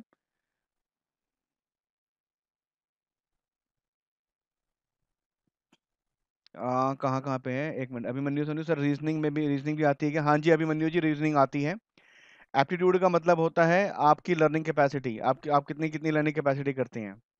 Sir is there possibility that CSAT clear ना हो। नहीं नहीं सी सेट क्लियर अगर क्वालिफाई नहीं करोगे तो आपका जीएस का पेपर चेक नहीं करेंगे। और सी सेट से घबराओ मत। महिमा छावड़ा आप किस तरह की बुक्स की सजेशन मांगते हैं? क्योंकि हम, हमने 26 सब्जेक्ट डिस्कस करें कौन कौन सब्जेक्ट चाहिए? राहुल जी, मैं आपको सी की पर्सनली आपको मैं बताऊँगा किस तरह से सी अप्रोच करना है। सी में आप न्यूज़पेपर पढ़ना शुरू कर दीजिए। न्यूज़पेपर को जब कॉम्प्रिहेंड करेंगे तो कॉम्प्रिहेंशन आपका ऑलरेडी बहुत बेहतर हो जाएगा और कॉम्प्रिहेंशन जो होता है more than fifty percent of the paper होता है। तो खाली अगर आप वो भी कर लेंगे तो चालीस पचास चालीस पचास, पैंतालीस क्वेश्चन आप आराम से अपेयर कर पाएँगे उसके अंदर। ठीक है? संदीप चौधरी जी बात करें मैं यूपी पीसीएस के लिए अप्लाई करना चाहता हूँ। संदीप चौधरी जी कहाँ पर हैं आप? एक बार अपने हाथ रेस कीजिए आप, मुझे दिख नहीं रहे हैं आप। काफ़ी भीड़, काफ़ी लोग हैं आज हमारे पास। संदीप चौधरी जी एक मिनट कहाँ पर हैं आप? अभी आप दिख रहे थे। ओके महिमा छाबड़ा जी आप किस तरह की बुक्स की आप मांग, मांगना चाहते हैं? किस तरह की बुक्स आप चाहते हैं? प्लीज़ थोड़ा सा एलेबरेट कीजिए। और आपने पूछा व्हाट अबाउट एंथ्रोपोलॉजी ऑप्शनल कौन है? जया जी कहाँ पर हैं आप? प्लीज़ सामने आइए एक बार। जया जी आप मुझे दिख रही है कहाँ थी? ओके संदीप चौधरी जी आपके पास मैं भी आ रहा हूँ। Jaya ji yes Jaya Jaya ji please unmute कीजिए अपने आप को। और अपना क्वेश्चन पूछिए आप क्योंकि आपने अच्छा क्वेश्चन पूछा है बहुत। Jaya Tukral ji, please come ahead and please ask your question. Yeah, hello sir. Hi. Yeah, hello sir. Hi. Sir, actually I was very confused about optional. मेरी आपसे बात भी हुई थी. So I was taking history as an optional. Okay, okay. But then uh, my DRC, friend. Correct? Oh, Right, right, DRC, that's Daulat right. College, तो uh, right. आपका background क्या था uh, मेरी क्योंकि मेरी बहुत बच्चों से बात चलती थोड़ा सा आप रिमाइंड करा दीजिए प्लीज़ किया इकोनॉमिक हुआ ऑनर्स किया मैंने तो why you are want why why you want to opt for this anthropology आपके पास ट्वेल्थ में बायोलॉजी थी इलेवेंथ में बायोलॉजी थी? नहीं नहीं नहीं सर नहीं थी but the main reason is कि I have heard from many from many people कि एंथ्रोपोलॉजी का सिलेबस बहुत ही लिमिटेड टाइम पीरियड में हो। जाएगा और उसकी बहुत बार रिविजन भी हो सकती हैं। एंड सोशल इश्यूज़ उसमें हिस्टोरिक एवोल्यूशन मैन का थोड़ा हिस्टोरिकल पार्ट है थोड़ा सोशल पार्ट है। बायोलॉजी पे थोड़ा एम्फोसाइज ज़्यादा किया हुआ है उन लोगों ने। देखिए अब मैं अब मैं आपके आंसर को हाँ। बट बट अगर अगर पढ़ने हाँ, के बाद आप पूरा क्वेश्चन पूछ लीजिए। सॉरी मैंने आपको इंटरप्ट कर दिया। प्लीज़ गो अहेड तो अगर पढ़ने के बाद सर बेसिक पढ़ने के बाद इंटरेस्ट अगर डेवलप हो जाता है in case because I started studying further anthropology as well so can we take it as an optional इधर मैं साइंस बैकग्राउंड से नहीं देखिए एंथ्रोपोलॉजी और सोशियोलॉजी की दो दो सब्जेक्ट्स की मैं बात करता हूँ यहाँ पे। सोशियोलॉजी वाले काफ़ी बच्चे होंगे इसके अंदर मैं समझता हूँ। होते हैं सोशियोलॉजी के बच्चे बहुत होते हैं। देखो एंथ्रोपोलॉजी का जो पेपर है पेपर वन और पेपर टू पेपर वन में आपको पूछा जाएगा physical anthropology and paper one का जो सेकंड पार्ट होगा उसके अंदर पूछा जाएगा आपसे आर्कियोलॉजी के बारे में। बेसिकली फॉसिल्स के बारे में ठीक है? Paper two is totally based on sociology like Indian Indian Indian tribals के बारे में पूछा जाएगा उसके अंदर। और जो और और पूछा जाएगा इंडियन सोसाइटी के बारे में। तो anthropology is no doubt is a very good optional provided आपकी आपकी इलेवन ट्वेल्थ की बायोलॉजी आपकी स्ट्रांग होनी चाहिए। इसके लिए आप मेरे से पर्सनली कनेक्ट कीजिएगा, मैं आपको पर्सनली बहुत अच्छे से गाइड कर दूँगा बिकॉज़ मैंने एंथ्रोपोलॉजी से खुद से जो है मेन्स आंसर मेन्स लिखा हुआ है और इंटरव्यू अपेयर किया हुआ है। ठीक है तो कोई दिक्कत नहीं आएगी इसके अंदर। बहुत अच्छा सब्जेक्ट है प्रोवाइडेड आपका इंटरेस्ट क्रिएट होना ज़रूरी है इसके अंदर। और आपने जो बात बोली सब्जेक्ट सीरियसली लिमिटेड है क्वेश्चन इसमें रिपीटेटिव होते हैं। ठीक है? ठीक है, जया? अगला क्वेश्चन मैं लेता हूँ आप बच्चों का। आप आ, एक बच्चे ने है पायल पायल पायल ने एक मिनट मैं पहले संदीप जी का संदीप जी कहाँ पर हैं आप? आप मुझे दिखे थे अभी। संदीप जी आप यूपी पीसीएस अप्लाई करना चाहते हैं आपकी एज कितनी है? संदीप जी कहाँ पर हैं आप? आ, एक बार अपना हाथ रेज कर लीजिए आप मुझे दिख जाएँगे आप। ओके अभी यहीं पे थे। संदीप जी आप सुन पा रहे हैं मेरे को? Okay I think he is not here I think has left no no problem तो गाइज़ अगला जो चीज़ है हमारे पास पायल जी ने हमसे पूछा है कि, sir if you take Hindi as our medium speak on interview graduation subject definition definition in English देखिए बहुत सारे बच्चों का ये क्वेश्चन रहता है कि, सर, मैं अगर इंग्लिश मीडियम से पेपर करूँगा तो क्या मैं हिंदी में अपियर कर सकता हूँ इंटरव्यू नहीं? और इसका उल्टा क्वेश्चन पूछा है पायल जी ने कि, अगर हम, क्या मैं हिंदी से पेपर दूँ तो वहाँ पे इंग्लिश में बिल्कुल ऐसा कर सकते हैं। इंग्लिश हिंदी तमिल तेलुगु जिस मर्ज़ी में जाके आप इंटरव्यू देके आइए, वहाँ पे इंटरप्रेटर्स बैठे होते हैं। That is just a language language का मतलब क्या होता है? लैंग्वेज का मतलब होता है कम्युनिकेट करना। है मैं कुछ बोलूँ आपको समझ में आ जाए। That that that is language आप जिस जिस लैंग्वेज में सबसे अच्छा समझा सकते हैं वो लैंग्वेज आप फॉलो कीजिए और आप आप डेफिनेटली उसके अंदर बहुत अच्छा कर सकते हैं। ऐसी कोई मैंडेटरी नहीं है कि आपने English English English communication between English sender and receiver हम लोग बोथ यूज़ हाँ कर सकते हैं क्या हिंदी इंग्लिश कोई बोथ प्रॉब्लम नहीं है। ठीक है? बस ये है कि जो भी यूज़ करें सामने वाले को चीज़ समझ में आनी चाहिए। ठीक है? तो अपना एक्सप्रेशन जो हो, बहुत बेहतर तरीके से बोलना है। ठीक है? एक कबीर दास का दोहा मुझे याद आता है यूपीएससी के पर्सपेक्टिव से मुझे लगता है कि यूपीएससी के लिए उन्होंने लिखा था, बोलिए कनमोल है जो कि बोले जान, लिए तराजू तोल के फिर मुख बाहर आने। ठीक है? ये कबीर दास ने एक बात बोली थी, जो मुझे लगता है कि यूपीएससी का उन्होंने देख लिया था कि इंटरव्यू होगा आगे चल के। तो मैं उनके लिए एक बात बोल देता हूँ। तो उनके लिए बात बोली गई है। आपको जो बोलना है बोलिए, आप हिंदी बोलिए, इंग्लिश बोलिए, आप तेलु, तमिल, तेलुगु, मलयालम बोलिए, no problem no problem at all. But आपकी बात आगे कम्युनिकेट होनी चाहिए। ठीक है? दैट इज़ द थिंग ठीक है? अगला क्वेश्चन है ईशान ईशान मित्तल का। जीएस मिनिमम मार्क्स कितने होते हैं? भाई थर्टी थ्री परसेंट ठीक है? What about geography optional Malvika Patna है? कहाँ पर हैं आप? एक बार अपना हाथ रेस कीजिए मालविका जी। कहाँ Yes, नज़र नहीं आ रही। आ, मालविका मालविका मालविका ओ गॉड कितने सारे बच्चे हैं आज तो। अच्छी बात है तो बहुत सारे बच्चे हैं बहुत सारे बच्चों को फ़ायदा मिला। मालविका जी कहाँ हैं आप? चलिए yes, कोई आप मुझे सुन पा Yes, रही हैं ठीक है मैं आपको मैं हम्म। आपको एड्रेस करता हूँ। आपका बैकग्राउंड क्या है इसमें? आपका आपका आपका ग्रेजुएशन किस चीज़ में है? इंजीनियरिंग इलेक्ट्रिकल कहाँ से इंजीनियरिंग करी है आपने electrical engineering government college of engineering Orissa से। हैं? अच्छा आपसे अभी तो मेरी बात हुई है मालविका जी ठीक है। आप उड़ीसा में कहाँ रहती हैं? और और आप शायद गवर्नमेंट सर्वेंट भी हैं if I am not wrong no no no I am not doing job क्योंकि हमारे पास एक और बच्ची आई थी उनका सेम प्रोफ़ाइल था वो उड़ीसा गवर्नमेंट में as a electrical engineer employed हैं तो मुझे लगा आप वही हैं ठीक है। तो मालविका जी देखिए geography is a very good optional ठीक है और ज्योग्राफी का प्रोज एंड कॉन्स मैं आपको बता देता हूँ रेस्ट आपकी खुद की कॉल रहेगी कि आप इसको लेंगी या नहीं या ड्रॉप करेंगी पहली चीज़। पहली चीज़ ज्योग्राफी एक बहुत वास्ट सिलेबस है अगर आप उसको अगर आप उसको लेती हैं तो आपका जीएस पेपर वन में और जीएस पेपर थ्री में सीधा सीधा फ़ायदा मिलेगा। दूसरा फ़ायदा आपको उसको इसको आपको मिलेगा आपको कम से कम तीस परसेंट सिलेबस आपका कवर हो जाएगा प्रीलिम्स का ऑलमोस्ट कवर हो जाएगा in the in the first instance दूसरी चीज़ ज्योग्राफी की इज़ ए टेक्निकल थिंग अगर आप लिखेंगे तो नंबर मिलते हैं नो डाउट नंबर मिलते हैं. अब आते हैं कॉन्स पे. जोग्राफी सबसे सारे सब, अगर पंद्रह हज़ार बच्चे करीब अगर ऑप्शनल मेंस का एग्जामिनेशन दे रहे हैं तो करीब पाँच हज़ार बच्चे या चार हज़ार बच्चे जो है ज्योग्राफी से अकेले होते हैं. तो नेचुरल से बात है कटिंग कटिंग एज कंपटीशन हो जाता है इसके अंदर। ज्योग्राफी इतना बड़ा डोमेन है कि उसमें क्वेश्चन नए क्वेश्चन बनने की हमेशा संभावनाएँ रहती हैं। ठीक है? तो जोग्राफी का जो क्वेश्चन पेपर है पिछले पाँच साल के जो मैं दे, मैं देखता आया हूँ ऑप्शनल गेम बहुत डेप्थ में ले जा चुके हैं बहुत डेप्थ में ले जा चुके हैं। तो आपको जो है जो स्टडीज़ जो करनी पड़ेंगी बहुत बहुत डेप्थ में जाके करनी पड़ेंगी और ये कम से कम तीन से चार महीने आपके लगेंगे इसके अंदर। ठीक है? इसके लिए जो बेसिक बुक्स मैं आपको मैं आपको सजेस्ट करता हूँ फ़िज़िकल ज्योग्राफी के लिए सविंदर सिंह को फॉलो कर सकती हैं आप ठीक है? इन्वायरमेंटल ज्योग्राफी के लिए सविंदर सिंह को फॉलो कर सकती हैं। और तमाम तरह की बुक्स है मैप मैप मैप पे आपका हाथ बहुत स्ट्रांग होना चाहिए ये सारी चीज़ें हैं ज्योग्राफी ऑप्शनल को लेके। क्लियर हो गया मालविका बेटा? और कोई क्वेश्चन है? Yes, कोई और ऑप्शनल दिमाग में हो? क्योंकि electrical what is about psychology के लिए देखो अब साइकोलॉजी में जो बच्चे बैठते हैं पेपर देने के लिए वो कहीं ना कहीं से साइकोलॉजी से ग्रेजुएट होते हैं। ठीक है साइकोलॉजी जो बच्चे लेते हैं आउट ऑफ़ द इंटरेस्ट लेते हैं। मैं बोलता हूँ साइकोलॉजी पढ़ो पर एक बार सिलेक्शन करा लो उसके बाद पढ़ो। साइकोलॉजी में अगर आप साइकोलॉजी बैकग्राउंड से नहीं आ रहे क्योंकि साइकोलॉजी में कई तरह की कॉग्नेटिव थ्योरीज होती हैं। हाँ। और जो बच्चा यूनिवर्सिटी में पढ़ के आ रहा है और एक आप खुद से ऑप्शनल तैयार कर रहे हो दोनों में डिफरेंस नहीं आ जाएगा? आप समझिए इस चीज़ Yes, को sir. ये ये टेक्निक ये टेक्निकलिटी आप समझिए। काफ़ी बच्चे साइकोलॉजी को लेके मेरे से क्वेश्चन पूछ चुके हैं इंक्लूडिंग रिचा जी जो अभी आर एस दुबे जी के प्रोफ़ाइल से यहाँ पे एडेड है। इन्होंने भी मुझसे पूछा पूछा था आपके सामने जो बच्चा बैठा है जो आपका आपका जो कॉम्पिटिटर होगा कौन होगा? वो कोई ना कोई किसी ना किसी कॉलेज का ग्रेजुएट होगा जिसने तीन चार साल अ, तबीयत से अच्छे से पढ़ी होगी। कोई और ऑप्शनल दिमाग में हो आपके? जी sir sociology. Very good in fact in fact better than better than geography sociology में सबसे अच्छी बात क्या है कि दो Okay, महीने दो दो से सवा दो महीने में कवर हो जाएगा पहली चीज़। दूसरी चीज़ आपका जीएस पेपर वन में इंडियन सोसाइटी आएगा वहाँ पे आपको हेल्प करेगा। जीएस पेपर टू में आपका सोशल जस्टिस आएगा वहाँ पे हेल्प करेगा।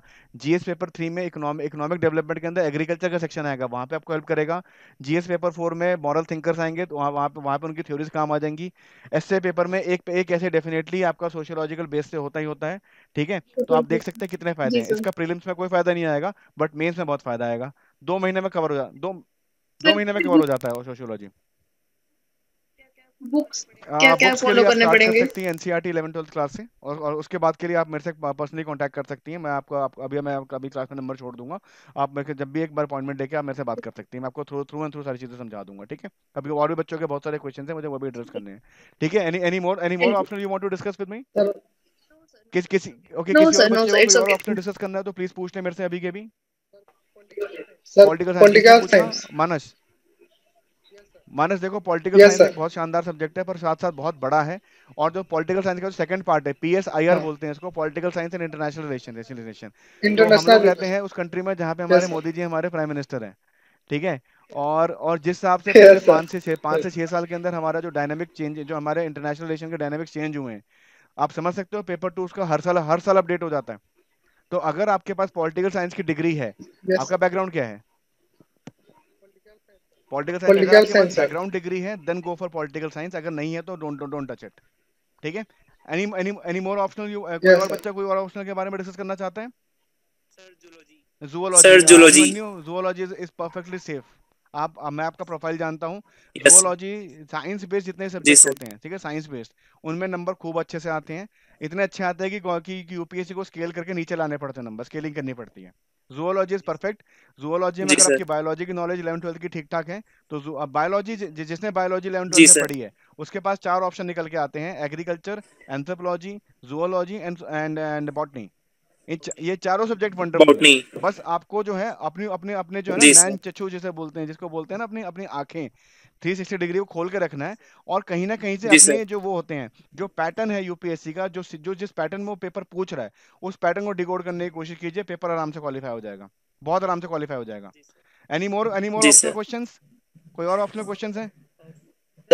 ऑप्शनल ऑप्शनल चूज़ कैसे करे सर जो अभी तक अभय नहीं अभय जस्ट कुमार जी आपने पूछा सवाल ये? सवाल किसने पूछा? नाम ना अभय जी आपका आपका बैकग्राउंड क्या है? सर अभी बीटेक कर रहे हैं फ़र्स्ट ईयर अभी कंप्लीट रुक जाओ क्योंकि जब तक आपकी बीटेक पूरी होगी तब तक हो सकता है ऑप्शनली ऑप्शनली हटा दे यूपीएससी ठीक है? अभी आपको जो फोकस करना है जो भी बच्चे इस टाइम पे फ़र्स्ट ईयर में हैं आप लोग एक चीज़ सोचिए एक चीज़ समझिए कि बीएस बासवान कमेटी की रिपोर्ट जो है गवर्नमेंट के पास जीओपीटी के पास टेबल्ड है। जिस दिन वो अप्रूव हो जाती है उस दिन उस दिन से ऑप्शनल ऑप्शनल हट जाएगा। अभी एक दो साल तक नहीं हटने वाला अगले दो मतलब 2023 तक कोई एक्सपेक्टेशन नहीं है पर 2024 में जो बच्चे पेपर देने जा रहे हैं वो ऑप्शनल ना पढ़ के वो अपने जीएस पे ध्यान दें। अभी क्लियर हो गया बेटा? Sir commerce and accountancy Vishan अगर यस आपके पास मेंटोर्स हैं और आपकी कॉमर्स कॉमर्स एंड अकाउंटेंसी बहुत ज़बरदस्त है तो आप लीजिए उसको कोई दिक्कत नहीं है नंबर बहुत अच्छे आते हैं। इसका एक ही तरीका है पिछले पाँच साल के पेपर को प्रिंट आउट लीजिए और पहले अपने आप को देख देखिए और समझिए कि कितना आपको उसमें से एक्चुअली में आ पा रहा है क्योंकि कॉमर्स में नंबर आएँगे तो पूरे आएँगे या तो जाएँगे तो पूरे जाएँगे। सर कॉमर्स मतलब बिज़नेस का ये बिज़नेस स्टडीज़ है सर या फिर मतलब पूरा कुछ और भी है इसके अंदर? एन पे आपको सिलेबस मिल जाएगा उस उस सिलेबस को देखो सिलेबस को पढ़ो अच्छे से उसके बाद take a decision clear any more question हाँ जी sir optional history sir history history आपका बैकग्राउंड क्या है बेटा? सर पॉल साइंस और मास्टर्स मैं पब्लिक एड में कर रही हूँ। And you are going for history ऐसा क्यों? सर मेरा इंटरेस्ट अच्छा ज़्यादा हिस्ट्री में है। करोगे इंटरव्यू में? कि एक तरफ़ आपके पास मास्टर्स पबैड में है आपके पास बैचलर्स आपकी pol science pol science Delhi university से आपकी? कौन से कॉलेज से? Yes sir. सर मैंने क्या कहते हैं? एनआईओएस से किया था अच्छा मतलब ओपनली किया था। ग्रेजुएशन में पूछ रहा हूँ कहाँ कहाँ से है आपकी ग्रेजुएशन सर नॉन अच्छा तो कॉलेज आपने से किया था मैंने। तो आपने पॉल साइंस उसमें लिया था उसके बाद पबैड में अब आप एम एम देखो यार सिंपल सी बात है एनआईओएस में जो जो माहौल होता है वो माहौल मैं समझ गया कि आप I you are going for history because आपके पास जो आपने जो पढ़ाई करी है खुद से करी है जो आप जो आपने सीखा खुद से सीखा ये चीज़ मैं अग्री करता हूँ इसलिए आप उसकी तरफ़ जा रहे हैं। बट अगर आपने पॉल साइंस और पबैड में से कुछ किया है तो ज़्यादा अच्छा रहेगा कि आप इन दोनों सब्जेक्ट को फ़र्स्ट प्रायोरिटी दें। ठीक है? पबैट को भी दे सकती है पॉल साइंस को भी दे सकती है। Even pubad is much better than pol science it is controllable in nature पहली चीज़। ठीक है पॉल साइंस थोड़ा सा आउट ऑफ़ कंट्रोल चला जाता है क्योंकि आईआर का जो फ़ंक्शन है उसके अंदर बहुत ज़बरदस्त तरीके से होता है। ठीक है रही बात history history is a good optional पर हिस्ट्री में दिक्कत क्या है कि हिस्ट्री में क्या होता है कि एक क्वेश्चन पूछ रहा हूँ आपसे। आप सभी बताइए who was Bhagat Singh history को लेके। भगत सिंह कौन थे? फ्रीडम फाइटर मैक्सिमम लोग यही बोलेंगे फ्रीडम फाइटर बट हमारी कुछ किताबें बोलते हैं कि वो एक्सट्रीमिस्ट रिवोल्यूशनरी थे। आप लिख के आओगे फ्रीडम फाइटर और जो जो और जो आपका चेकर बैठा है उसने पढ़ा है रिवोल्यूशनरी नंबर किसके कटेंगे? नंबर आपके नंबर आपके कटेंगे ना हमारे। और यहाँ और यहाँ पे अगर आपका एक नंबर कम हो जाता है अगर आप वन थाउज़ेंड से ट्रिपल नाइन पे आ जाते हैं तो आपकी रैंक ट्वेंटी रैंक पे चल जाती है। करीब करीब। तो कंपटीशन तो टफ है तो हम ऐसा, ऐसी गलती तो नहीं कर सकते बिकॉज़ हिस्ट्री में क्या होगा ना बेटा, पूजा? हिस्ट्री को जीएस तक पढ़ने लिमिटेड में बहुत बहुत बहुत बहुत बहुत ठीक है। पर जब आप वर्ल्ड हिस्ट्री में घुसोगे जैनन माथु नॉर्मल लेवल जैसी बुक्स को लेके, जब आप सुमित सरकार जैसी बुक्स को लेके मिडेवल इंडस्ट्री में मिडेवल इंडिया में उतरोगे आर एस शर्मा जैसी बुक को लेके आप एंशियंट इंडिया पढ़ोगे तो आपके पास इतना कंटेंट हो जाएगा कि आप उसे कंपाइल करने में थोड़ा टाइम लग जाएगा। तीन से चार महीने लगेंगे डेडिकेटेडली अगर आप कर सकते हो तो कर लो। मैं आपको पूरा गाइड कर दूँगा क्योंकि मेरे पास फ़र्स्ट जब मैंने इंटरव्यू पेयर किया था मैंने हिस्ट्री ऑप्शन से भी पढ़ाई करी थी। मैंने हिस्ट्री ऑप्शन पूरा पढ़ा हुआ है। तो मैं आपको पूरा हेल्प कर सकता हूँ उसके अंदर। सर आपने कौन सी वेबसाइट डॉट बताई? UPSC commerce UPSC dot G हाँ ओ जी। डॉट आई एन यूपीएससी की ऑफिशियल वेबसाइट है इस पे आपको सिलेबस मिल जाएगा पूरा। ठीक है एनी मोर ठीक है क्वेश्चन ऑप्शनल कोई और ऑप्शनल पे कोई और है? कोई ऑप्शनल पे कोई क्वेश्चन है किसी को? क्लियर है? आगे चलते हैं। अब अगला है Krishna sir the main GS paper written in the Bengali version आप लिख सकते हो, कोई दिक्कत नहीं है। बंगाली में लिख लो आप, कोई दिक्कत नहीं कृष्णा। नहीं एवेल्यूएशन में कोई दिक्कत नहीं आएगी। जो जो जो बंगाली जो जो बंगाली में लिखेगा, उसको बंगाली लोग ही चेक करेंगे, बंगाली टीचर ही चेक करेंगे, कोई दिक्कत नहीं आएगी। Then Manas dear sir I am ready for political science student but ठीक है, मैंने आपको ऑर्डर मैंने मानस का जो है ऑर्डर कर मतलब आपको मैंने समझा दिया क्या है। ठीक है Abhimanyu Soni sir I am very weak in maths and reasoning hmm hmm Abhimanyu ji आप परेशान मत होइए। You are under my guidance आपकी कोई चीज़ कोई किसी भी चीज़ में कोई प्रॉब्लम नहीं आएगी। डोंट वरी ठीक है? डोंट वरी अबाउट इट देखो इस इस ओके पेपर में डर जो है ना डर ज़्यादा डर बहुत बुरी चीज़ है। इस पेपर में डर बहुत बुरी चीज़ है। डरना किसी से नहीं है क्योंकि डरने वाली कोई चीज़ नहीं है। ठीक है? Fears are not good for good for grades बोलते थ्री इडियट्स में बोलते हैं ना रणछोड़ दास तो same here same same applies here also ठीक है? Then thank you sir okay है सर ओनली इंटरव्यू में इंग्लिश यूज़ कर सकते हैं ठीक है। हाँ जी कर अनिल कुमार जी अनिल कुमार जी कर सकते हैं कोई दिक्कत नहीं है। अ, पायल पूछ रही है मैथ्स ऑप्शनल पायल जी कहाँ पर हैं आप? मैथ्स ऑप्शनल कैसे कर, अ, आपका बैकग्राउंड क्या है पायल जी? पायल जी आप हैं? सर बीएससी मैथ्स ऑनर्स कहाँ है से मेरा बैकग्राउंड आपने? बीएससी सर रांची रांची अच्छा आज सुबह मेरे आपसे बात हुई है दोपहर को? अच्छा आपसे आज मेरी झारखंड में रांची से ही बात हुई है किसी की मेरी मेरी बात हुई उनके पास भी मैथ्स ही था वो एमएससी मैथ्स थी जो मैडम थी। देखिए मैथ्स मैथ्स ऑप्शनल बहुत अच्छा सब्जेक्ट है प्रोवाइडेड आप उसे कर पाए। आप सबसे अच्छा तरीका इसके लिए रहेगा पायल जी आप UPSC dot G O V dot I N पे जाइए सिलेबस डाउनलोड कीजिए और पिछले पाँच छः साल का पेपर डाउनलोड कीजिए। उसके बाद क्या होता है हाईलाइट हाईलाइटर्स आते हैं हाईलाइटर्स हाईलाइटर पेन आते हैं ऐसे। तो जो जो चीज़ उन सबका प्रिंट आउट ये ऑनलाइन मत करिएगा ऑनलाइन पढ़ने की कैपेसिटी नहीं है हम लोगों की। आप इसे ऑफलाइन कीजिएगा। आप क्या कीजिए पुराने साल के पुराने पाँच साल के पेपर निकालिए 2013 के बाद के पेपर निकालिए मैथ्स के और अपना सिलेबस निकालिए। जितनी चीज़ें आपको आती हैं उन, उनको आप हाईलाइट कर दीजिए जितनी चीज़ें नहीं आती उसको किसी और कलर से हाईलाइट कर दीजिए। ठीक है? उसके बाद जो चीज़ नहीं आती है उस पर थोड़ा सा आत्मचिंतन कीजिए थोड़ा सा इंट्रोस्पेक्ट कीजिए क्या आप उसे कर सकती हैं कि नहीं कर सकती हैं? अगर कर सकती है तो मैथ्स ऑप्शन से अच्छा कोई ऑप्शन नहीं है। मैथ्स ऑप्शन में बहुत अच्छे नंबर आते हैं। बहुत फंटेस्टिक नंबर आते हैं। और अगर नहीं अगर दिक्कत हो तो आप मेरा मैं भी नंबर डालूँगा आप मुझे कांटेक्ट कर सकते हैं आपकी हेल्प कर दूँगा इसके लिए ठीक है? हाँ जी आगे पूछ आगे चढ़ते हैं। पूजा सिंह विल मैंने हिस्ट्री का बता दिया है। सत्यनारायण पूछ रहे हो ऑप्शनल ए ऑप्शनल बी दोनों अलग होते हैं। नहीं बेटा एक ही सब्जेक्ट के दो पेपर को एक ही सब्जेक्ट को दो पार्ट में डिवाइड कर दिया जाता है और उसी में से पूरा सवाल पूरा पूरा सिलेबस सिलेबस पूछा जाता है ठीक है? Prakash Kumar I am Odisha and have finished my diploma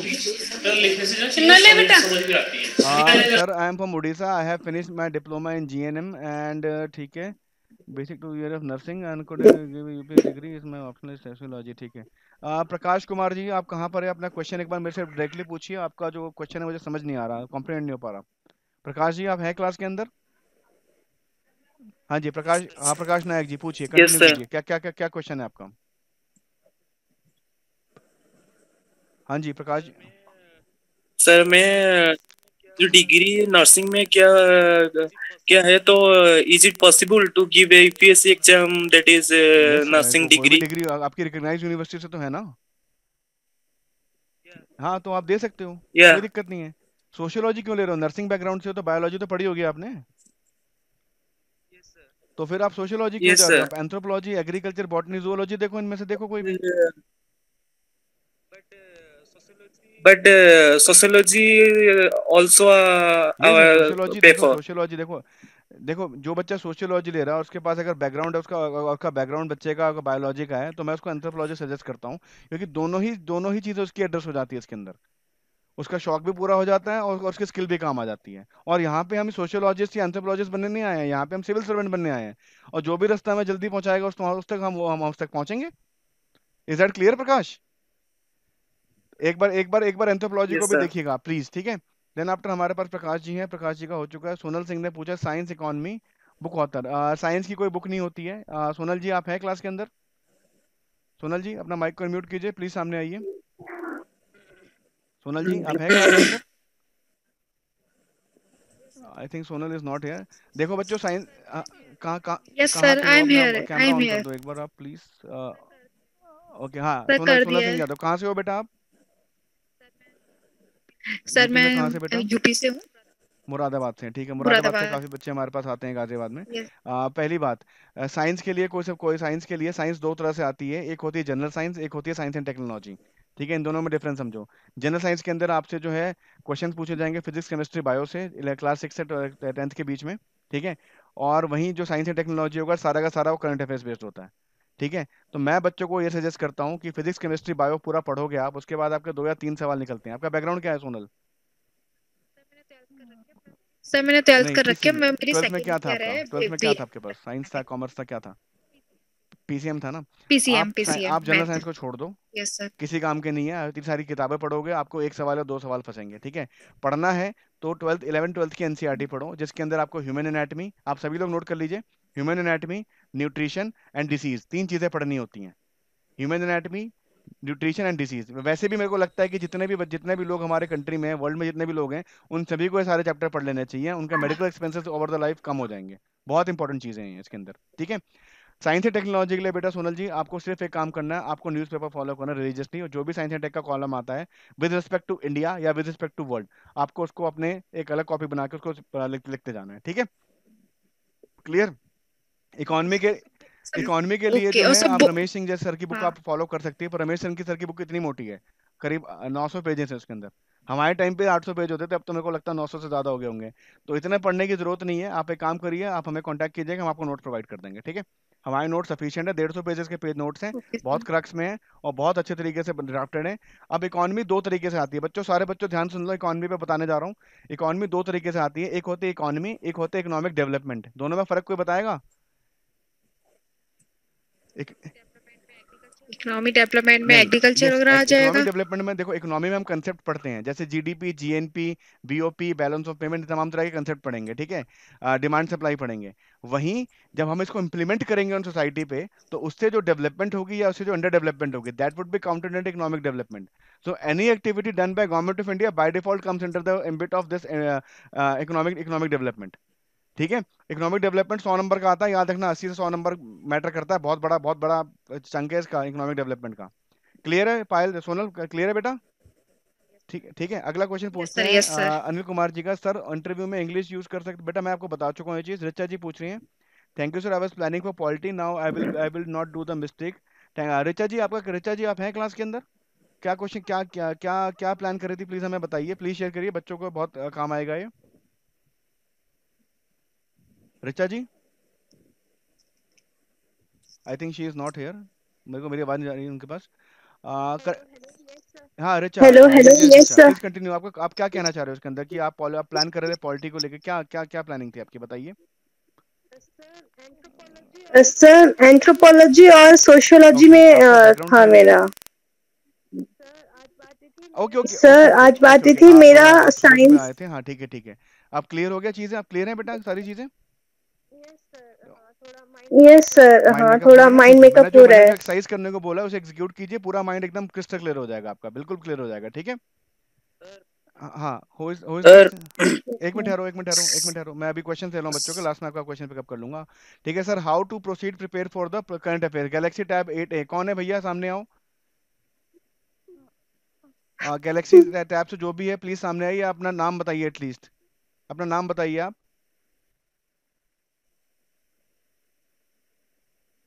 अपना नाम बताइए आप। देखिए आप क्लास में हैं और आपकी आइडेंटिटी नहीं हो तो मुझे क्लास से आपको हटाना पड़ जाएगा। आप प्लीज़ इस बात को समझिए। सिक्योरिटी कंसर्न्स होते हैं।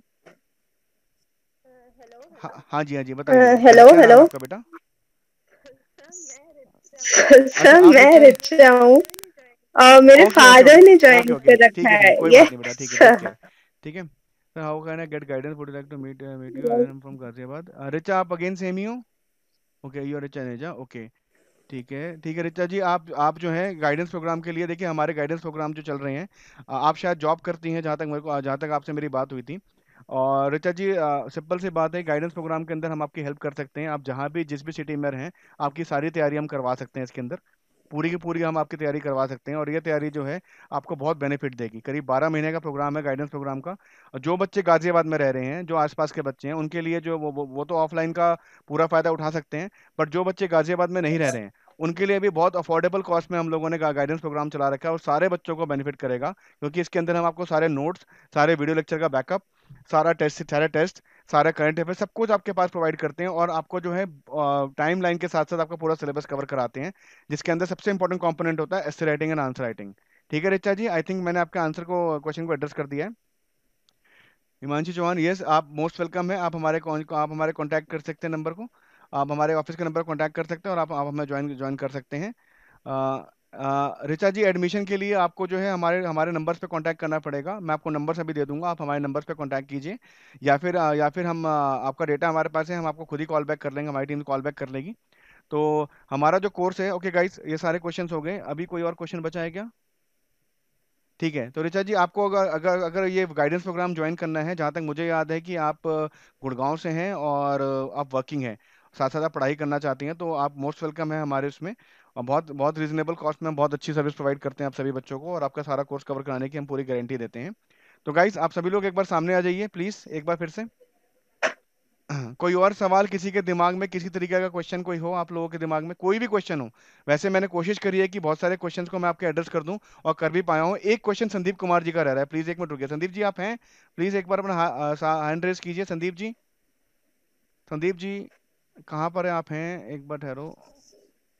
शुभम चौधरी जी वेलकम अभी भी आए हैं आप। संदीप जी आप आप आप हैं?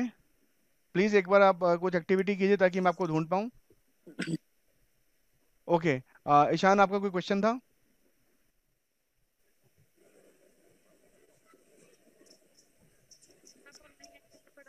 हाँ जी आप ऑनलाइन लेक्चर भी पढ़ाते हैं। कौन किसने? किसने? सर उसकी आईडी हाँ सर हमारे ऑनलाइन क्लासेस सोनल चलती हैं रात को नौ बजे शुरू होती हैं साढ़े दस बजे ख़त्म होती हैं। और अभी हम लोगों ने ये जो कोर्स है ये स्पेशल डिज़ाइन किया है कोविड के बच्चों के लिए। और ऑनलाइन लेक्चर हम इसलिए चला इसलिए नहीं चला रहे क्योंकि कोविड है। हम ऑनलाइन लेक्चर सन दो हज़ार सत्रह से चला रहे हैं। 2017 से हमारे ऑनलाइन लेक्चर चलते हैं। काफ़ी बच्चे इसमें आते हैं और बहुत लोगों को फ़ायदा होता है इसके अंदर। तो उसकी फ़ीस बेटा उसकी तो फ़ीस रुपीज़ फ़ीस है? उसकी ऑनलाइन लेक्चर की जीएस के पूरे प्रोग्राम की। हाँ अभी हमारा कोर्स चल रहा है। अगर आप बैच ज्वाइन करना चाहती हैं तो आप हमें कांटेक्ट कर सकती हैं हमारे नंबरों पे। रजनी जी आप आप आप ज्वाइन करना चाहते हैं हमारा बैच शुरू होने वाला है अभी 28 के आसपास तो हम आपको इंटीमेट करेंगे। और आपको ज्वाइन करना हो तो उसके पहले आप अपनी फॉर्मेलिटीज पूरी कर लीजिएगा। ठीक है बच्चों? गाइस एक हाँ जी new batch new batch start हो रहा है। गाइस आप लोगों के पास और कोई भी सवाल हो तो प्लीज़ मेरे से पूछ लीजिए। बहुत ब- बहुत सारे क्वेश्चंस को मैंने ऑलरेडी एड्रेस कर दिया है और और भी जितने क्वेश्चन हैं उनको भी एड्रेस कर दूँगा बताइए। कोई और क्वेश्चन है आप लोगों के पास या आप आप लोग सेटिस्फाइड हैं? Ishaan Mittal go ahead sir जैसे कॉमर्स और इकोनॉमिक्स इन दोनों में से एक मिनट रुक जाओ। तो इन दोनों में से सर क्या चूज़ करें? मतलब सिलेबस के बेसिस पे चूज़ करें तुमने तुमने या तुमने फिर कैसे करें सर ऑप्शनल मैं किसी बच्चे को नहीं बोलता करने को क्योंकि उसमें डायनामिज्म बहुत बहुत डायनामिक होता है बहुत ज़्यादा डायनामिक होता है। डेटा स्टैटिस्टिक्स तमाम तरह की चीज़ें रोज अपडेट होती हैं। कॉमर्स में जाओ कॉमर्स में कॉमर्स में जाओ ये इक्विवेलेंट टू मैथ सर बहुत अच्छे नंबर मिलेंगे। बहुत अच्छे नंबर मिलेंगे। हाँ सर क्योंकि कॉमर्स के अंदर सब टैक्स हाँ, वगैरह भी है सर मैंने भी देखा। बहुत अच्छे नंबर मिलेंगे ठीक है? सत्यनारायण आप पूछ रहे पेपर कब होगा? अगले साल पेपर है सत्ताईस जून को। ठीक है सर ठीक है अभी आप लोगों के पास बहुत एम्पल टाइम है। अगर आप लोग अभी अभी हमें ज्वाइन करते हैं तो हम गारंटी दे सकते हैं कि आपके सारे सारा पेपर हम क्वालिफाई करवा देंगे। और बहुत अच्छे से क्वालिफाई करवा देंगे। तो मैं आप लोगों को यही बताना चाहूँगा कि हम लोग जो है कई तरह से आपकी हेल्प कर सकते हैं। जो बच्चे हमारे आसपास से हैं जैसे कि गाजियाबाद से जो बच्चे हैं दिल्ली से जो बच्चे वो हमारे पास आके ऑफलाइन क्लासेस ज्वाइन कर सकते हैं। इनमें इनफैक्ट सर मैं ऑफलाइन क्लास ज्वाइन करना चाहता हूँ। गाजियाबाद में मैं गाजियाबाद में मतलब हाँ, दीपक जी आप एक इंडियन हाँ इंडियन एयरबेस बात हुई है शायद। आपके आपके आपके इंडियन एयरफोर्स से काफ़ी लोग एयरफोर्स के हमारे पास आते हैं नीतीश जी आते हैं और एक हम एक उत्तराखंड के एक बच्चा है मुझे हिमांशु हिमांशु हिमांशु बच्चा है वो आता है हमारे पास ठीक है? तो इवनिंग बैच हाँ में हाँ जी मतलब इवनिंग में कोई है बैच मतलब? अपना नंबर आप हमें शेयर आप हमारा मैं भी नंबर शेयर कर रहा हूँ guys Pankaj Nayak sir I am currently working Indian railways and no time to know मुझे पता रेलवेज में पंकज जी कहाँ पर आप हैं? एक बार सामने आके पूछेंगे तो बहुत बेहतर रहेगा। पंकज जी? सुन पा रहे हैं आप मेरे को? हाँ Pankaj ji please go ahead मुझे Yes, पता है कि रेलवेज की नौकरी जो होती है बहुत ज़्यादा बहुत ज़्यादा है पैसेट तरीके में पूछे लगती है आप लोगों की। तो आप आ, आपकी पोस्ट क्या है? लोको पायलट जी हो जी जी सर लोको पायलट हो ना? तो जी सर लोको पायलट टाइम में पढ़ाई करने का। जी. आप आप समझ रहे हो ना क्योंकि ट्रेन से बेसिकली आप जो भी ट्रेन इस टाइम पे आप आप, आप आप चला रहे हो उस टाइम पे वो मोस्टली जो है ऑटोमेटेड है। आपको बस उसको सुपरवाइज करना होता है बहुत अच्छे से। पर मैं ये नहीं कहूँगा कि मैं भैया मैं ये नहीं कह रहा जी कि जी आप जी जी। जी आप पढ़ाई करो ठीक है? मतलब मतलब अगर आप अपने शेड्यूल क्योंकि आपका ऐसा होता होगा ना कि एक ड्यूटी के बाद दो दिन तीन दिन छुट्टी मिल गई उसके बाद फिर आपकी ड्यूटी हो गई ऐसा लगता होगा ना आपका तो? नहीं सर बेसिकली दो एक दिन का रहता है हो? कहाँ से हो? रहते रहते। हाँ। मैं उड़ीसा हूँ सर बालासोर हाँ उड़ीसा में। रहते मतलब उड़ीसा में ही रहता हूँ मतलब मैं। होम स्टेट में ही है। गुड इनफ हाँ हाँ हाँ होम स्टेट में ही है। होम तो डिस्ट्रिक्ट में ही है सर करते हैं? बस। रजनी कैन सर रजनी जी ने पूछा है सर पंकज जी एक मिनट रजनी जी ने पूछा sir can can you please share your number हाँ मैं अपना नंबर शेयर कर रहा हूँ गाइस मैं अपने दो नंबर शेयर कर रहा हूँ ठीक है? आप दोनों में से किसी से भी किसी पे भी मुझसे कांटेक्ट कर सकते हैं ठीक है? एक मिनट ठहरिए यहाँ पे मुझे बंद करना पड़ेगा एंड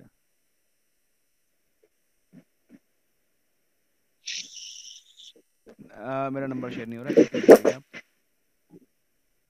गाइस आप। लोग प्लीज़ एक बार नंबर लिख लीजिए, यहाँ पे कुछ चैट में प्रॉब्लम आ रही है।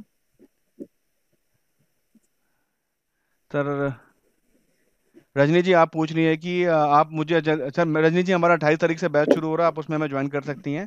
आपका एक साल चला गया, मैं उसके लिए बहुत सॉरी बोलता हूँ कि जिस, आपके गाइड शायद आपको ढंग के नहीं मिलेंगे इसलिए आपको, आपका एक साल खराब चला गया। एक साल में तो हम पूरा कोर्स तैयार करवा देते हैं, बहुत अच्छे तरीके से, बच्चा बहुत कॉन्फिडेंट हो जाता है। तो गाइज़ मैं अपना नंबर शेयर करने की कोशिश कर रहा हूँ बट यहाँ पे कुछ एक मिनट है अब शायद हो जाएगा। आ गया नंबर आपके पास? आप सभी के पास आ गया मेरा एक नंबर मेरा दूसरा नंबर भेज रहा हूँ, मेरा दूसरा नंबर जो है इसके अंदर, ये ये मेरा व्हाट्सएप पे भी है। ठीक है, ये मेरा व्हाट्सएप नंबर है। आप लोग इस पर जुड़ सकते हैं। दो नंबर, आप सभी ने नंबर लिख लिया मेरे।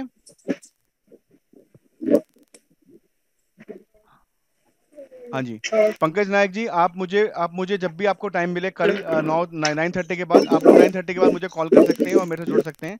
ठीक है? और, पंकज जी, आप मेरे से पर्सनली बात कीजिएगा। I I give you personal solution for that ठीक है? क्योंकि आपका प्रॉब्लम कुछ ऐसा है कि वो किसी और का नहीं है। ठीक है? तो I will I will give you the I will give you the complete solution don't worry about it and वो सॉल्यूशन बहुत कारगर होगा और आपको सीरियसली आपको आपकी जो आपकी जो मंजिल है वहाँ तक पहुंचाएगा। अच्छा गाइस एक एक अनाउंसमेंट है। हम लोग 28 तारीख से अपने नए बैच शुरू कर रहे हैं। जीएस के जिसके अंदर ऑनलाइन क्लासेस एंड गाइडेंस रहेगी। अभी हम लोग ऑफलाइन ऑपरेट नहीं कर रहे हैं क्योंकि कोविड का हमें हमारे पास अभी परमिशन नहीं है ऑफलाइन रन करने का। बट हम लोग अपनी ऑनलाइन क्लासेस जो है शुरू कर रहे हैं अट्ठाईस तारीख से। और मैं चाहूँगा अगर जो भी बच्चा हमें ज्वाइन करना चाहे तो आप प्लीज़ हमें आप, आप हमारे टच में आए और हमें ज्वाइन कीजिए। हम लोग आपको नोट्स पूरे प्रोवाइड करेंगे वीडियो लेक्चर का पूरा सपोर्ट प्रोवाइड करेंगे लाइव क्लासेस का सपोर्ट प्रोवाइड करेंगे आंसर राइटिंग एसे राइटिंग का पूरा सपोर्ट प्रोवाइड करेंगे।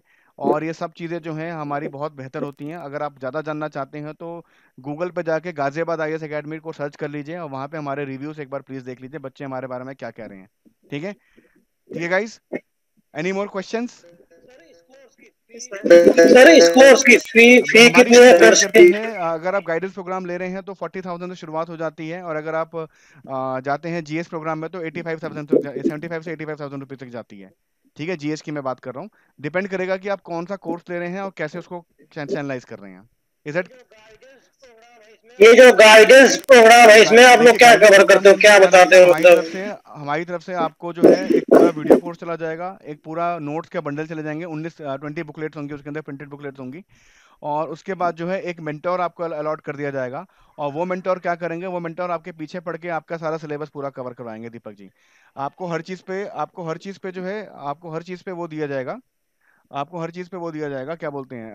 आपको हर चीज़ पे एक मेंटोर दिया जाएगा। और मेंटोर क्या करेंगे? मेंटोर का मतलब ये होता है कि वो आपके साथ रहेंगे आपका आप, आपके फ़ोन पे टच में रहेंगे लाइव लाइव क्लास पे टच में रहेंगे लाइव टच में रहेंगे। आपको जो है हर हफ़्ते का एक टारगेट दिया जाएगा टारगेट जैसे ही पूरा होगा आपका टारगेट से टेस्ट ले लिया जाएगा। ऐसे करते करते आपका जीएस का पूरा कोर्स हम तैयार करवा देते हैं। ठीक है इसमें essay writing answer writing personality development program तमाम और वीडियो कोर्स आपके नोट्स करंट अफेयर्स टेस्ट सब कुछ रहता है इसके अंदर। ठीक है बस क्लासेस नहीं होती है इसके अंदर। और अगर इन सभी चीज़ों में आप क्लासेस जोड़ देंगे तो वो हमारा ऑफलाइन प्रोग्राम होता है। ठीक है? तो ये हमारा गाइडेंस ये बेसिकली उन लोगों के लिए डिज़ाइन अच्छा है अच्छा। जो बच्चे दिल्ली एनसीआर के बाहर के हैं ठीक है? आप तो हमारे पड़ोसी हैं हिंडन हमारे तो हमारे ऑफ़िस से ज़्यादा दूर नहीं है तो आइए किस दिन बैठ के बात कर लेंगे ठीक है गाइस एनी मोर ठीक है मैं विज़िट करने का प्लान कर रहा हूँ लेकिन ऑफ़िस की वजह से नहीं आ पा रहा हूँ। हम्म? संडे को ओपन होता है ऑफ़िस ओपन संडे को? संडे ओपन होता है जी। संडे को ऑफ़िस ओपन नंबर्स हाँ जी। सर सर अभी मेरी अक्टूबर में एज ट्वेंटी हो जाएगी। अब मैं अगले साल यूपीएससी का लिए वो डालना चाह रही हूँ और उसके अंदर एलिजिबिलिटी चाहिए एक ट्वेंटी वन अगस्त दो तो हज़ार अभी नहीं इक्कीस डाल पे सकते। कितनी होगी? एक अगस्त 2021 साल कुछ पे सर है ना ट्वेंटी 2022 से पहले नहीं दे पाओगे पेपर आप। यस सर एलिजिबल नहीं होगे। ठीक है? ओके सर गाइस सारे सब सबके सबके डाउट क्लियर हो गए। आई होप मैंने सब सबके सबके डाउट को मैंने अ, अच्छा रिचा जी ज्वाइन करने को कह रही है, प्रिंसी ज्वाइन करने को कह रही है मोस्ट वेलकम रजनी जी, आप भी ज्वाइन करने को कह रहे हैं मोस्ट वेलकम काफ़ी बच्चे हैं जो ज्वाइन करना चाहते हैं। सीमा जी, आप भी मोस्ट वेलकम आप सभी लोग आइए और ज्वाइन कीजिए, आप सभी लोगों को जो है बहुत बेहतर रिज़ल्ट मिलेंगे। नंबर मेरे पर्सनल नंबर्स हैं, आप लोगों के पास चले गए हैं। अगर मैं फ़ोन ना उठाऊं, मैं फिर से बता रहा हूँ तो मुझे व्हाट्सएप ड्रॉप कर दीजिएगा, आपका रिप्लाई ज़रूर आ जाएगा तीन चार घंटे के अंदर। This is my guarantee is it clear everyone कोई क्वेश्चन है और कोई और कोई बच्चा कुछ पूछना चाहता है प्लीज़ टेल मी तो shall I terminate this seminar okay bye bye good night take care सब लोग कोविड से बच एंड के थैंक यू रहिएगा ठीक है Subscribe to our YouTube channel and press the bell icon to get the latest update or visit our website. Thank you.